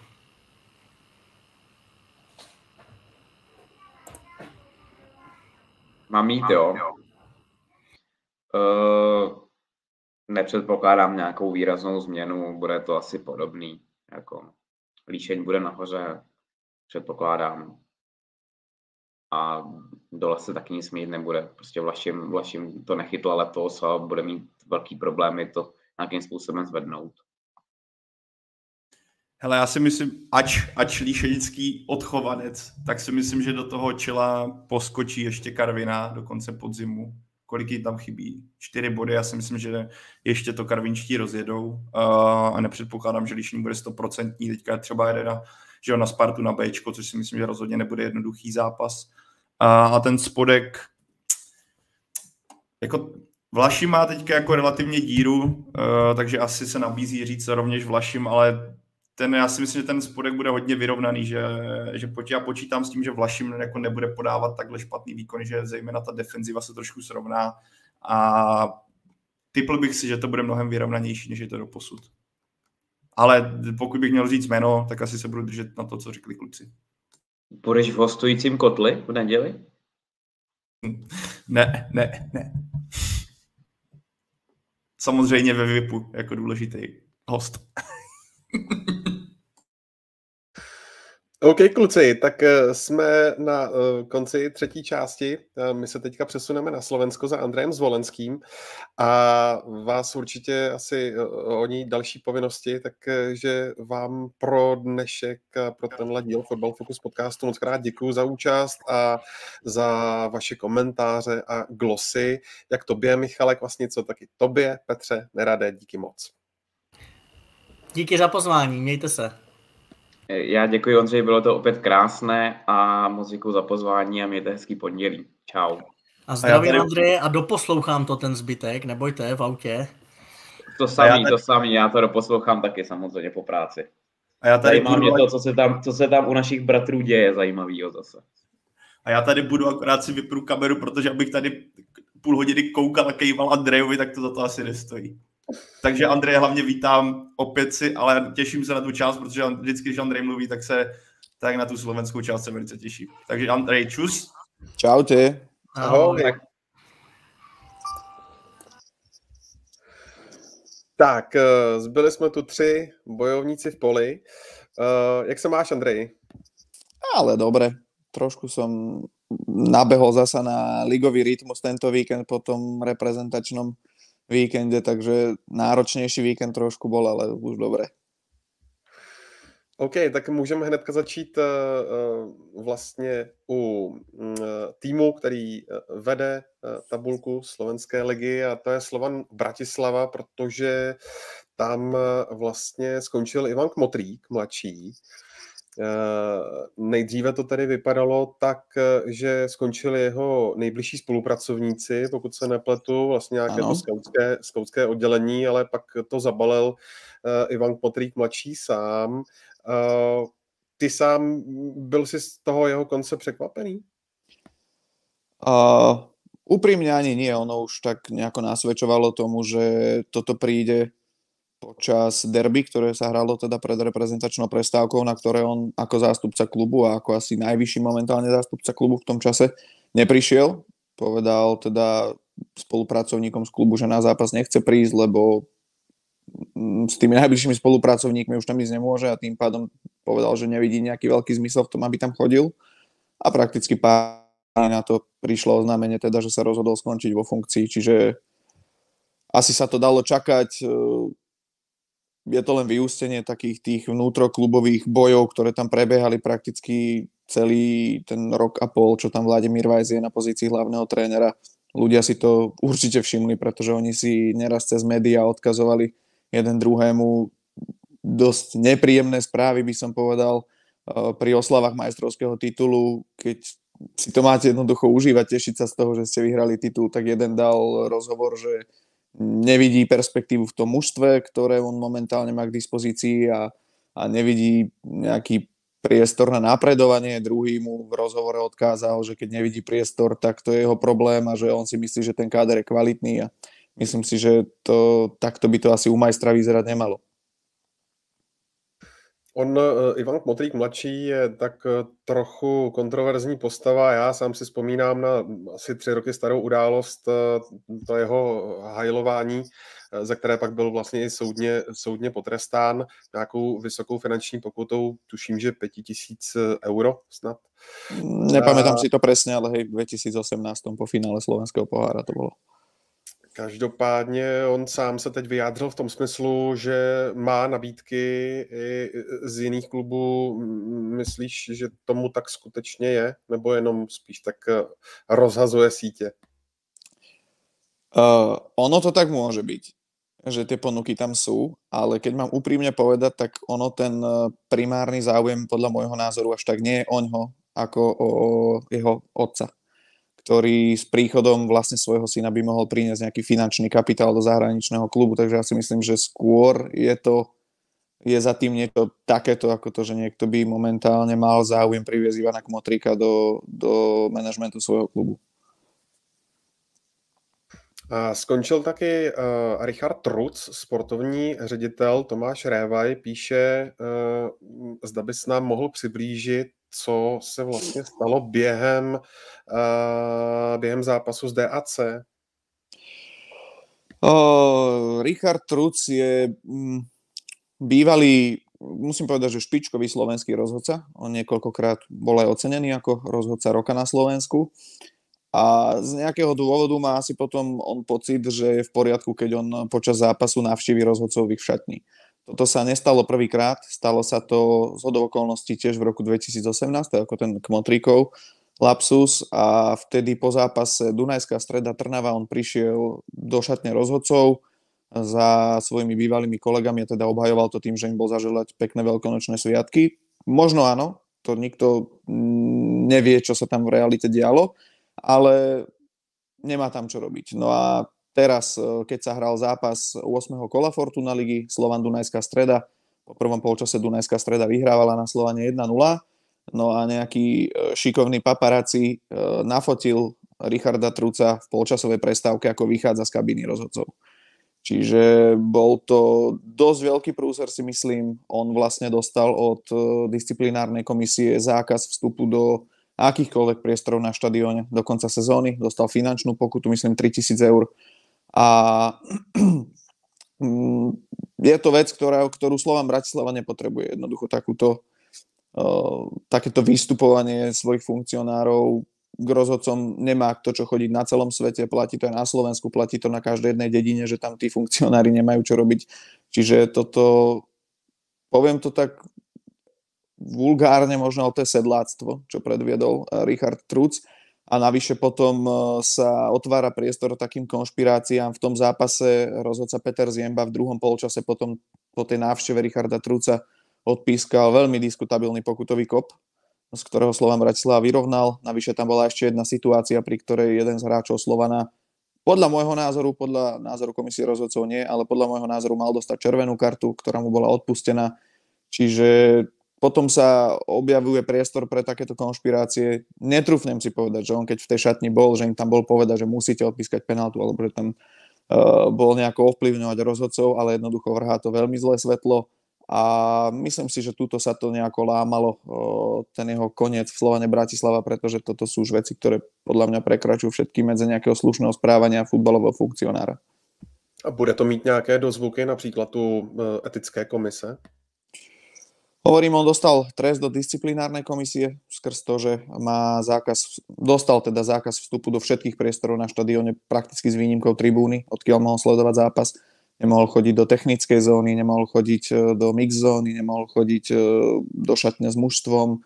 Čiže takýto zákaz on vlastne dostal, ale tým pádom, že on vlastne o týždeň neskôr v klube skončil, tak už to asi nemá nejaký ďalší zmysel to riešiť v každom prípade do konca sezóny prakticky bol vyradený zo všetkých nejakých e, priestorov, v ktorých sa môžu funkcionári počas sezóny pohybovať. Ivan Motrík mladší hovořil o tom, že v klubu je negativní energie, tak jaká je energie teď, po té, co vlastně Belasí angažovali dva bývalé fotbalisty do vedení, jak Roberta Tomašika, tak i uh, legendu slovenského národního týmu Roberta Viteka. Uh, ja som sa rozprával o tom s Robom Vitekom asi 4-5 dní dozadu, keď vlastne vyšla tá informácia, že by mal teda prijať túto ponuku, lebo sme sa o tom rozprávali z hodou okolností asi dva týždne predtým, že či by on prijal ponuku zo Slovana Bratislava tam ísť spracovať teraz, keď sa tam teda uvoľnili tie miesta po odchode tej vetvy Ivana Kmotríka, vtedy ešte Ivan Kmotrík bol v klube. A potom, čo Ivan Kmotrík teda skončil, sa rozhodol prijať tú ponuku manažéra pre medzinárodné vzťahy klubu. A rozprával som sa s ním teda, že, že čo teraz, ako vidí on víziu toho klubu, že čo bude mať v náplni práce, tak e, samozrejme nejaký ten styk s manažermi ostatných klubov počas európskych pohárov ale bavili sme sa aj o tom, že bude chcieť nájsť nejakú spoločnú víziu s trénerom Vladimírom Vajsom, ktorý prakticky, môžeme to tak povedať, bol predstaviteľom a hlavou tej druhej vetvy v klube. A že budú sa snažiť nejakú spoločnú reč nájsť aj čo sa týka nejakých nových hráčov, čiže uh, Vladimír Vajs sa s Robertom Vitekom dobre pozná z reprezentácie, kde ho viedol, uh, majú spolu dobrý vzťah, to, čo mi on hovoril, jeden druhého si vážia, Takže ja si myslím, že tá spolupráca tam môže byť prospešná. Navyše Robovitek je pre fanúšikov Slovana Bratislava Modla, je to asi najslávnejší odchovanec tej novodobej histórie klubu spoločne s Petrom Dubovským.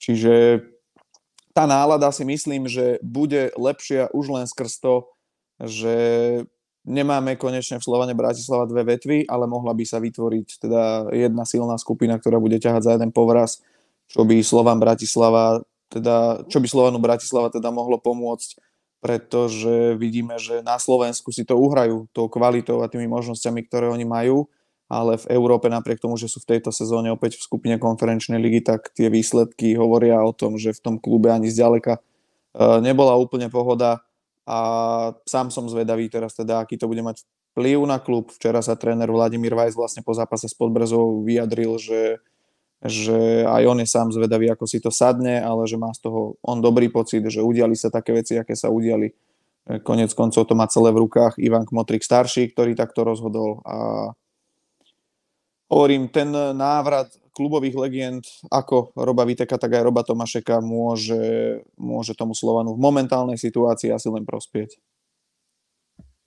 Jak říkáš, tak Slovan eh, Bratislava je ve skupině Evropské konferenční ligy, ale zatím je na posledním místě, protože eh, remizoval vlastně s, nejdříve se Žalgirisem a poté prohrál s Půlníkem Jerevan. Teď ho ve čtvrtek vlastně čeká uh, utkání se třetím týmem z té skupiny a to je Bazilej, uh, u které se dá asi předpokládat, že, že uh, bude postupovat z prvního místa. Uh, jaká je v téhle souvislosti vlastně pozice uh, Vladimíra Vajse?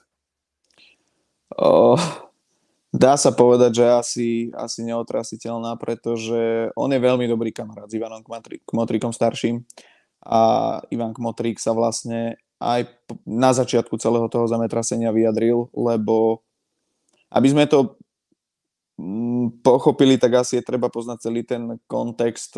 Vlastne zlá nálada bola v klube a nejako to eskalovalo už e, vo štvrtok pred zápasom s Pivníkom Jerevan, kde teda údajne malo dôjsť k nejakej hádke medzi Borisom Kitkom, čo je asistent trénera Vladimíra Vajsa a Richardom Trucom.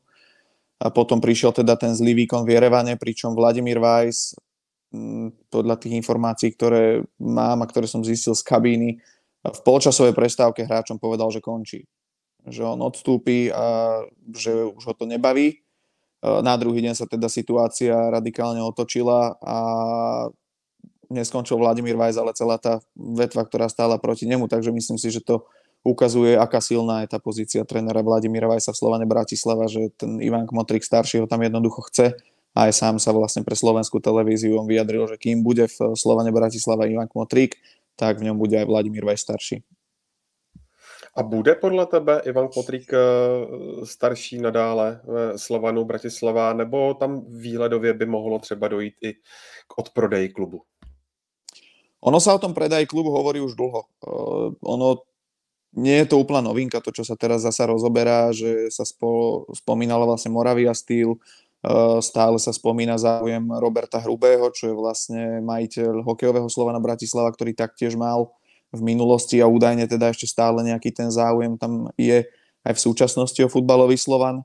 Čiže všetko je o ponuke. Aj to Ivan Kmotrik starší vlastne povedal, že v prípade, že by prišla dobrá ponuka, tak on je tomu otvorený. Ale keď sa pozrieme na to, že Spartak Trnava vlastne prechádzal do rúk nových majiteľov pred troma rokmi, 2019 rok to bol, áno, pred troma rokmi, tak tam tá cena bola, myslím, že to môžeme povedať niekde na úrovni 3 miliónov eur, ak sa nemýlim. Keď sa bavíme o Slovane Bratislava, tak sa v súvislosti s klubom a celým štadiónom bavíme o sume, údajne teda bavíme o sume približne 200 miliónov eur. Takže to je obrovitánsky rozdiel a obrovitánska investícia, ktorú by do toho musel ten nový majiteľ dať. Navyše problém je v tom, že štadión ešte stále nie je úplne vysporiadaný so štátom, e, pretože je to teda národný futbalový štadión, do ktorého investoval aj e, investovala aj vláda Slovenskej republiky, čiže ešte to nie je úplne vysporiadané. Ťažko povedať, či by teraz do toho niekto šiel s tým, že teda štadión ešte nie je mm, takto po právnej stránke vysporiadaný. A Ivan Kmotrík určite nebude ten klub držať za každú cenu. V prípade, že by došla dobrá ponuka, prišla dobrá ponuka, tak som presvedčený o tom, že ho predá, ale na druhej strane ani si nemyslím, že je to až také akútne, ako sa to možno v posledných eh, dňoch, týždňoch prezentovalo že by už mali prebiehať nejaké rokovania. Konec koncov, čo som postrehol, tak aj zástupcovia Moravia Steel sa už vyjadrili, že, že v nejakom priamom kontakte s majiteľmi Slovana Bratislava nie sú.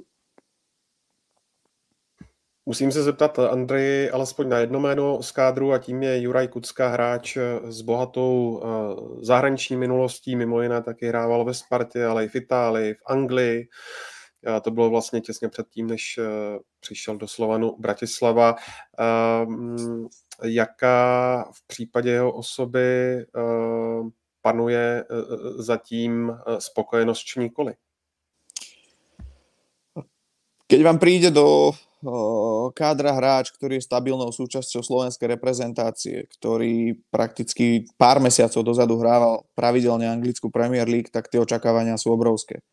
A úprimne z môjho pohľadu ich zatiaľ úplne nenaplnil a aj tá nálada, ktorú vidím či už na Twitteri alebo aj v tej našej novinárskej komunite na Slovensku, tak uh, sa zhodujeme v tom, že od Juraja Kucku sme možno čakali viac. Áno, nikdy nebol nejaký futbalový virtuós, aj vy si ho pamätáte zo Sparty určite ako bojovného hráča, ktorý práve na tej súbojovosti mal postavenú svoju kariéru. Napriek tomu by ste čakali, že keď takýto hráč príde do Slovenskej ligy, tak bude vynikať a to nie je zatiaľ úplne realita. Nejde len o Slovenskú ligu, ale aj v tých európskych pohároch zatiaľ nie je taká opora, ako by sme od eh, Jura Kucku čakali. Ja som to prednedávnom v jednom inom podcaste na Slovensku, kde som bol ako host, eh, tiež porovnával, že eh, v minulej sezóne sme mali podobný prípad, pretože nám do ligy prišiel Martin Škrtel a tam sme od prvého zápasu videli, že toto je tá vodcovská osobnosť, ktorá bude ťahať Spartak, že to bude ten líder, ktorého v Trnave neprehliadnete. A toto mi o, u Jura Kucku trochu chýba. On v tej reprezentácii býval lídrom, patril medzi tých ťažiskových hráčov, ale v Slovane Bratislava zatiaľ nemám pocit, že by on nejako vynikal. Keď už aj nie tými výkonmi na trávniku, tak by som od neho čakal možno to, že práve on bude ten, ktorý strhne to mužstvo nejakým tým svojim postojom a prístupom k zápasu, že naozaj bude tá vodcovská osobnosť, ale toto, toto zatiaľ aspoň v mojich očiach e, Juro Kucka nesplňa, takže nemôžem povedať, že by bol vyslovene sklamaním, mm, to zase by som mu kryudil, keby som povedal, že je to nejaký prepadák, ale mám od neho aj ja vyššie očakávania. Abychom se dostali ještě eh, k dalšímu dění na Slovensku, tak se musím zeptat taky na mm, Adriana Gulu eh, v Dunajské středě, pátém týmu eh, slovenské ligy, trenér, kterého český fanoušek dobře zná z jeho působení z Plzně a konec konců, kdyby možná nebylo Briana Priského, tak by skončil ve Spartě. Jak si zatím v DAC vede? On by asi v tej Sparte skončil, lebo ja som s ním robil aj, alebo teda bol som na jeho tlačovej konferencii pred sezónou a on to tam teda otvorene priznal, že tá Sparta bola naozaj blízko. Ale keďže fanúšikovia českého futbalu Adriana Gulu dobre poznajú, tak ich asi neprekvapí to, že začiatok v Dunajskej strede výborný, oživenie mužstva, eh, prvých 5 kôl bez prehry, ale teraz sa Dunajská streda nachádza v takej tej fáze, kedy, kedy opäť eh, akoby ustal taký ten, alebo teda prešiel taký ten boom z toho a tento boom sme zažili u neho naozaj všade. Či to bola Plzeň, či to bola Výsla Krakov, alebo aj teraz Dunajská streda vždy je to ten istý scenár, že on keď príde, tak to mužstvo pozdvihne, ale s postupom času ako by sa nevedel vysporiadať s tým, že on je perfekcionista, od, od hráčov vyžaduje naozaj, aby na tom štadióne trávili všetok možný čas. Myslím, že aj v Plzni to chalani zažili, že tam sa prichádza na štadión ráno a odchádza večer. A tým pádom ja som čakal, že možno už prišiel na to, ako túto niekedy aj ponorkovú chorobu v mužstve uh, odstrániť, ale zdá sa, že v Dunajskej strede to začal podobný scenár ako pri tých predchádzajúcich pôsobiskách, že naozaj najskôr to mužstvo pozdvihne a potom príde nejaké obdobie stagnácie. Otázne je teraz, či mu v Dunajskej strede dajú priestor na to ďalšie pracovanie, pretože úprimne si povedzme, že Dunajská streda by asi po 12 kolách chcela byť inde ako na 5. mieste, keďže to je klub, ktorý otvorene každú sezónu hovorí o európskych priečkách, potichu hovorí o tom, že by chcel získať titul, ale mm, opäť je to také nemasné, neslané by som povedal. Od prvej prehry v šiestom kole prakticky Dunajská streda sa trápi, ak sa nemýlim, tak Dac vyhral e, z posledných 7 zápasov iba dva. A tým pádom a bude mať Adrian Gula dokonca jeseň ešte náročnú prácu. Ja si myslím, že v tom DAC zatiaľ tú dôveru má, aj tým, že on dokáže nielen hráčov, ale celý ten klub strhnúť na svoju stranu tým svojim veľmi profesionálnym prístupom a moderným prístupom, ale pokiaľ nebudú výsledky, tak e, to bude opäť problém pre tohto nášho veľakrát ospevovaného trénera, ktorý však od toho titulu v Žiline uh, nemá tú kariéru úplne takú, ako by si asi aj on sám predstavoval. Tomáš Revaj píše, že nejpříjemnějším překvapením je pro něj, pro něj uh, jsou železárny Podbrezová na třetím místě tabulky. Vidíš to stejně, nebo, nebo eh, bys tam viděl ještě třeba nějaký jiný tým? Podbrezová určite, ale ono na jednej strane je to také príjemné prekvapenie, že sú tretí a vlastne prvýkrát v sezóne prehrali až včera na Slovane ako nováčik, ale na druhej strane človek, ktorý ten klub sleduje dlhodobo, tak ho to až tak neprekvapí. Tam tá skladba kádra je výborná. To, hráči, ktorí sú tam mladíci, ktorých si oni sami vychovali, sú prakticky všetko slovenskí mládežnícky reprezentanti. Či je to Samuel Ďatko, Peter Kováčik, ktorý ale teraz zranený, či to bol Roland Galčík, ktorý už ale je v Žiline, brankár Richard Ludha, to sú odchovanci klubu, ktorí hrajú za slovenskú reprezentáciu do 21 rokov a hrali za ňu už v čase, kedy Podbrezová bola v druhej lige. Čiže tá kvalita tam bola. No a okolo nich je výborne vyskladaná os skúsených hráčov, ktorí možno už majú ten vrchol kariéry za sebou, či je to Erik Grendel, ktorý hrával v Poľsku, v Slovane, v Trnave, Boris Godal, kapitán majstrovského Spartaka Trnava, Michal Breznaník, bývalý slovenský reprezentant a tak ďalej. Čiže to sú tí hráči, okolo ktorých, e, keď postavíte týchto mladých chalanov, tak ich dokážu pozdvihnúť. Ja som, a nielen ja, tá slovenská novinárska obec veľakrát volala potom, aby takýto model nastavila Žilina, ktorá taktiež má obrovské množstvo mladých, talentovaných chlapcov, ale nemá ich to potiahnuť. Takže Podbrezová ten žilínsky model si myslím týmto ešte vyšperkovala, že tam má tých skúsených hráčov, ktorých potiahnu a preto pre mňa osobne nie je až také prekvapenie, že sú hore, ja som ich čakal niekde okolo 5. miesta, ale to tretie miesto je zatiaľ absolútne zaslúžené. A ak by som mal ešte povedať, kto ma príjemne prekvapuje, tak je to aj druhý nováčik z Banskej Bystrice, pretože tam ten úvod sezóny ukazoval, že by to mohlo byť mužstvo, ktoré sa bude trápiť a pretrápi sa k záchrane.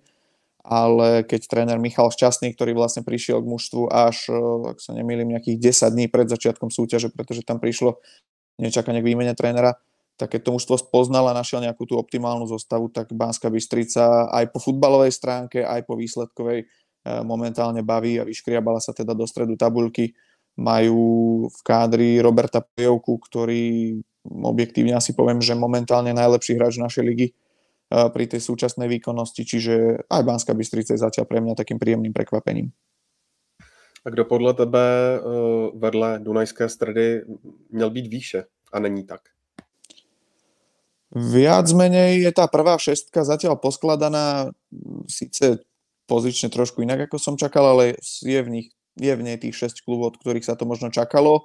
Ja som ešte pred začiatkom sezóny hovoril, že takým čiernym koňom by mohol byť aj náš tretí nováčik, keďže máme takú neštandardnú sezónu trošku, že máme tri nové kluby a teda Skalica, ktorá zatiaľ taktiež úplne neprepadáva, body získava, drží sa viac menej v strede tabuľky, ale vyššie by som čakal možno Trenčín, pretože ten zažíva naozaj hororovú sezónu, klub, ktorý v Slovenskej lige pár rokov dozadu mal nastrelených 70-80 gólov za sezónu, má teraz po 12 kolách strelených 8 gólov.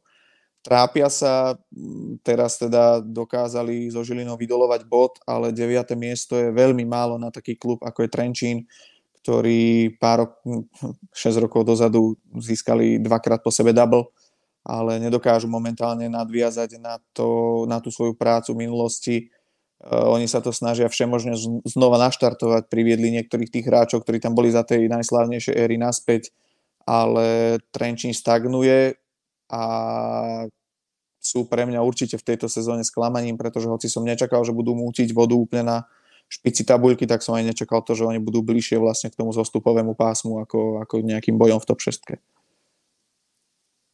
No a ještě pojďme k slovenské reprezentaci, protože ta, eh, řekněme si to upřímně, nezáří. Ono to vlastně začalo už, už eh, v červnu, tam byly nějaké prohry s Kazachstánem, eh, pak následovala prohra s Azerbajdžánem, teď remíza s Běloruskem.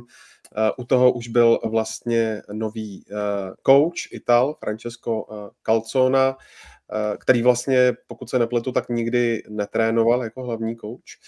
Až teď tedy uh, u slovenského národního týmu, co na tu volbu uh, tohoto, tohoto trenéra vlastně říkáš a jakou mu věštíš budoucnost? Úprimne mňa potešilo, že sme siahli po zahraničnom trénerovi, pretože u nás už sme si z toho robili na Slovensku srandu. Štefan Tarkovič, bývalý tréner, stále hovoril o nejakej tej kontinuite, ktorá je tam treba v mužstve a nejako neprihliadal na aktuálnu formu hráčov a vyberal viac menej hráčov tak, aby si tam on držal nejakú tú partiu chalanov a výsledky boli, aké boli. Čiže my sme si tak zo srandy hovorili, že kontinuita skončila a prichádza nejaký nový vietor. Ono sa to aj ukázalo, prakticky Francesco Calcona vyrazil dých e, slovenskej verejnosti tou prvou nomináciou, keď do nej vlastne dal 8 hráčov z Fortuna ligy, čo sme nezažili na Slovensku asi 20 rokov, že by sme mali ešte takéto zastúpenie z našej najvyššej futbalovej súťaže v reprezentácii. Ale bolo by asi naivné čakať, že v tých prvých dvoch zápasoch okamžite sa všetko zmení a my zrazu prevalcujeme Azerbajdžan a Bielorusko po tom, čo sme predvádzali predtým. Nejaké tie náznaky a herný systém tam už vidieť sú, ale pokiaľ nemáme kvalitu, tak nám to nejako extrémne nepomôže a bude to chcieť čas, e, aby, aby si tá reprezentácia našla nejakú novú cestu. A teda hlavne mm, ťažko viniť teraz za tie prvé dva výsledky nejako trénera, skôr je to o tom, že bohužiaľ u nás e, tá zlatá generácia odišla, už nemáme v reprezentácii Martina Škrtela, Mareka Hamšíka, v minulosti Jana Ďuricu a ďalších. E, tá nastupujúca generácia potrebuje asi čas, hlavne potrebujú hrávať vo svojich kluboch, pretože bez toho to nepôjde. V minulosti v našej reprezentácii tak bolo, že mm, hráči si chodili naberať zápasovú prax do reprezentácie, v kluboch nehrali.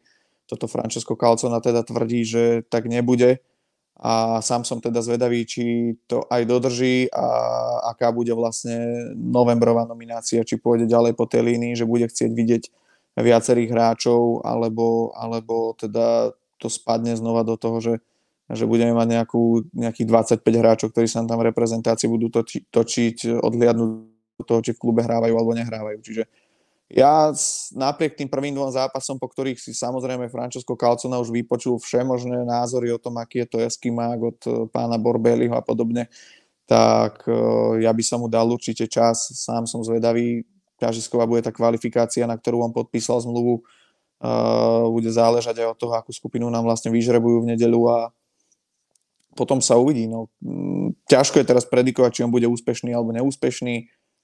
Ako si povedal, on hlavný tréner nikdy nebol, ale na druhej strane spolupracoval s Lucianom Spaletým, spolupracoval s Mauriciom Sarím a nebol to nejaký ten asistent trénera, ktorý vám len roznáša kužele po ihrisku a rozdáva vesty. On mal na starosti prakticky celú defenzívu SSC Neapol, čiže je to určite odborník, odporučil ho Marek Hamšík na základe vlastne svojej skúsenosti, čiže nemyslím si, že on by odporúčal niekoho, kom by nebol presvedčený, že by tej slovenskej futbalovej reprezentácii dokázal pomôcť, ale hovorím, v nejakom dlhodobom horizonte mm, musíme byť pripravení na kvalifikáciu. To aj keď nám tie novembrové zápasy nevídu, ale je treba, aby ten tréner našiel nejakú tú kostru, novú kostru svojho mužstva, o ktorú sa bude môcť oprieť. Myslíš, že oni dva spolu mají takový vztah, že by se třeba výhledově mohl stát Marek Hamšík eh, třeba i pravou rukou Francesca Calzone? Marek Hamšík zatiaľ ešte stále aktívne hráva v Trabzonspore, čiže, čiže zatiaľ asi v krátkodobom horizonte to nečakám. V tom eh, dlhodobejšom by ma to až tak neprekvapilo, ono sa dokonca ešte objavovali hlasy, že keď teda Francesco Calzona prišiel, že by mohol Mareka Hamšíka zlomiť na to, aby sa do reprezentácie ešte načas vrátil, čo sa teda ale nepodarilo, ale neprekvapilo by ma to, ak by uh, po konci kariéry nejak, nejaká tá spolupráca medzi nimi prišla, ale zase na druhej strane je otázne, ako dlho ešte Marek Hamšík bude hrať a je otázne, ako dlho bude Francesco Calcona tréner slovenskej reprezentácie, keďže on má teda zmluvu na rok a pol. Čiže uvidíme, no ale poviem tak, že osvedčil sa nám tento, tento systém a tento postup v hokeji, kde teda Taktiež bývalý úspešný reprezentant Miroslav Šatan odporúčil trénera reprezentácie Craiga Remziho mm, z vlastnej skúsenosti, čiže je to taká paralela teraz s futbalom a určite by sme boli všetci veľmi rádi, keby to vypálilo podobne ako s Craigom Ramsey v hokeji. Zaznamenal jsem tady dotaz, zda víš, s kým se slovenská reprezentace vlastně utká eh, v podzimních přátelácích, jestli už to bylo tedy zveřejněno.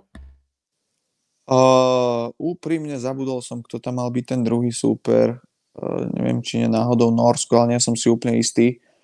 A nie, s Normy sme hrali prednedávno. Ma, no, nie som si úplne istý, ale teda jeden zápas by sme mali hrať doma na Cieholnom poli v Bratislave a to by teda podľa informácií, ktoré zatiaľ ešte neboli oficiálne potvrdené, ale hovorí sa teda, že by sme mali hrať z Chile na Cieholnom poli v novembri.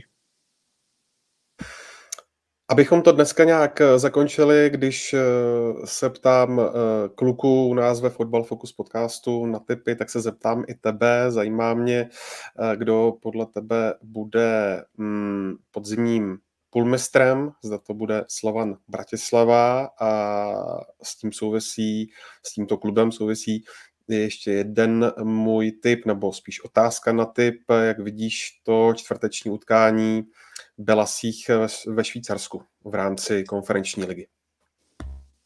Tak najskôr poviem, že si myslím, že Slován si tú pozíciu SNL majstra uhájí. Ehm, naozaj na Slovensku nemajú momentálne konkurenciu, čo sa týka šírky kádra, rozpočtu a možností, ktoré oni majú, pretože ehm, v tejto sezóne sa tam hovorilo o tom, že by sa malo pracovať na úrovni nejakých tých 12 miliónov, pričom ten ich najbližší prenasledovateľ v tabuľke, keď sa pozrieme, je Trnava, ktorá pracuje tak s tretinou tohto rozpočtu, čiže ten rozdiel je tam naozaj obrovitánsky.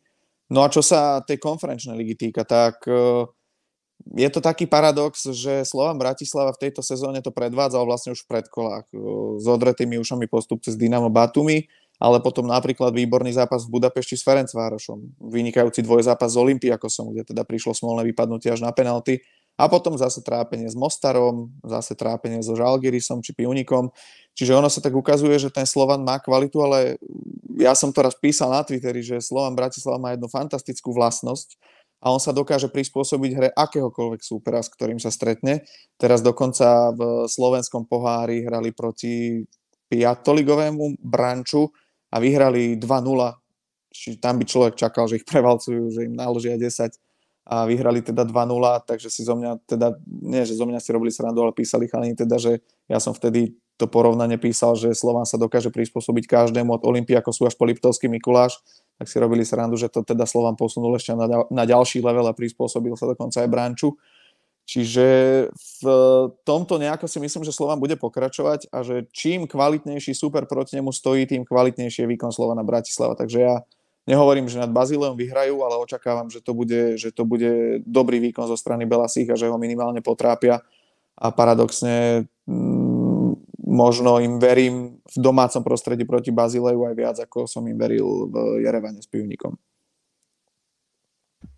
Tak jo, e, to byl Andrej Zvolenský. Andrej, díky moc e, za tvůj čas a za tvé komentáře a názory. Já velmi pěkně děkuji opět za pozvání. Já Andrejovi taky děkuji, že si našel čas. A samozřejmě všem taky děkuji, co to s námi vydrželi až do tohle bodu. Vy ste jediný podcast, ktorý je dlhší jak ten náš, čo máme my Bavme sa o lige, lebo tam nám tiež píšu, že prečo to má hodinu 40, tak ja si vždy spomeniem na vás. Hele, my doteďka poslední dobou jsme to drželi kolem té hodiny a půl, ale jak přijde Slovensko, tak to vždycky přejeme. Ale to je potřeba, hele, musíme tomu Slovensku dát lidi taky ví. A ať já i vím. Přesně Děkuji tak. za pozvání. A dobře, dobře připomínáš váš podcast Bavme se o lige, takže kdo chce, tak eh, a kdo by, kdo by měl Football Focus podcastu už dost, tak eh, určitě zveme i k tomuto podcastu. No a my se na vás s Pavlem a s dalšími hosty budeme těšit zase příští pondělí, kdy se eh, možná nebo určitě ohlédneme za pohárovými zápasy všech tří celků, jak v eh, konferenční lize, tak i lize mistrů. Je to tak, Pájo? Je to tak. Tak jo, Football Focus podcast najdete na webu footballfocus.cz ve všech podcastových aplikacích. Nás eh, všechny tři, ale i samozřejmě kluky, jako Michala Kvasnicu, tak i Petra Nerada, najdete na Twitteru a budeme se na vás těšit zase příště. Tak ahoj.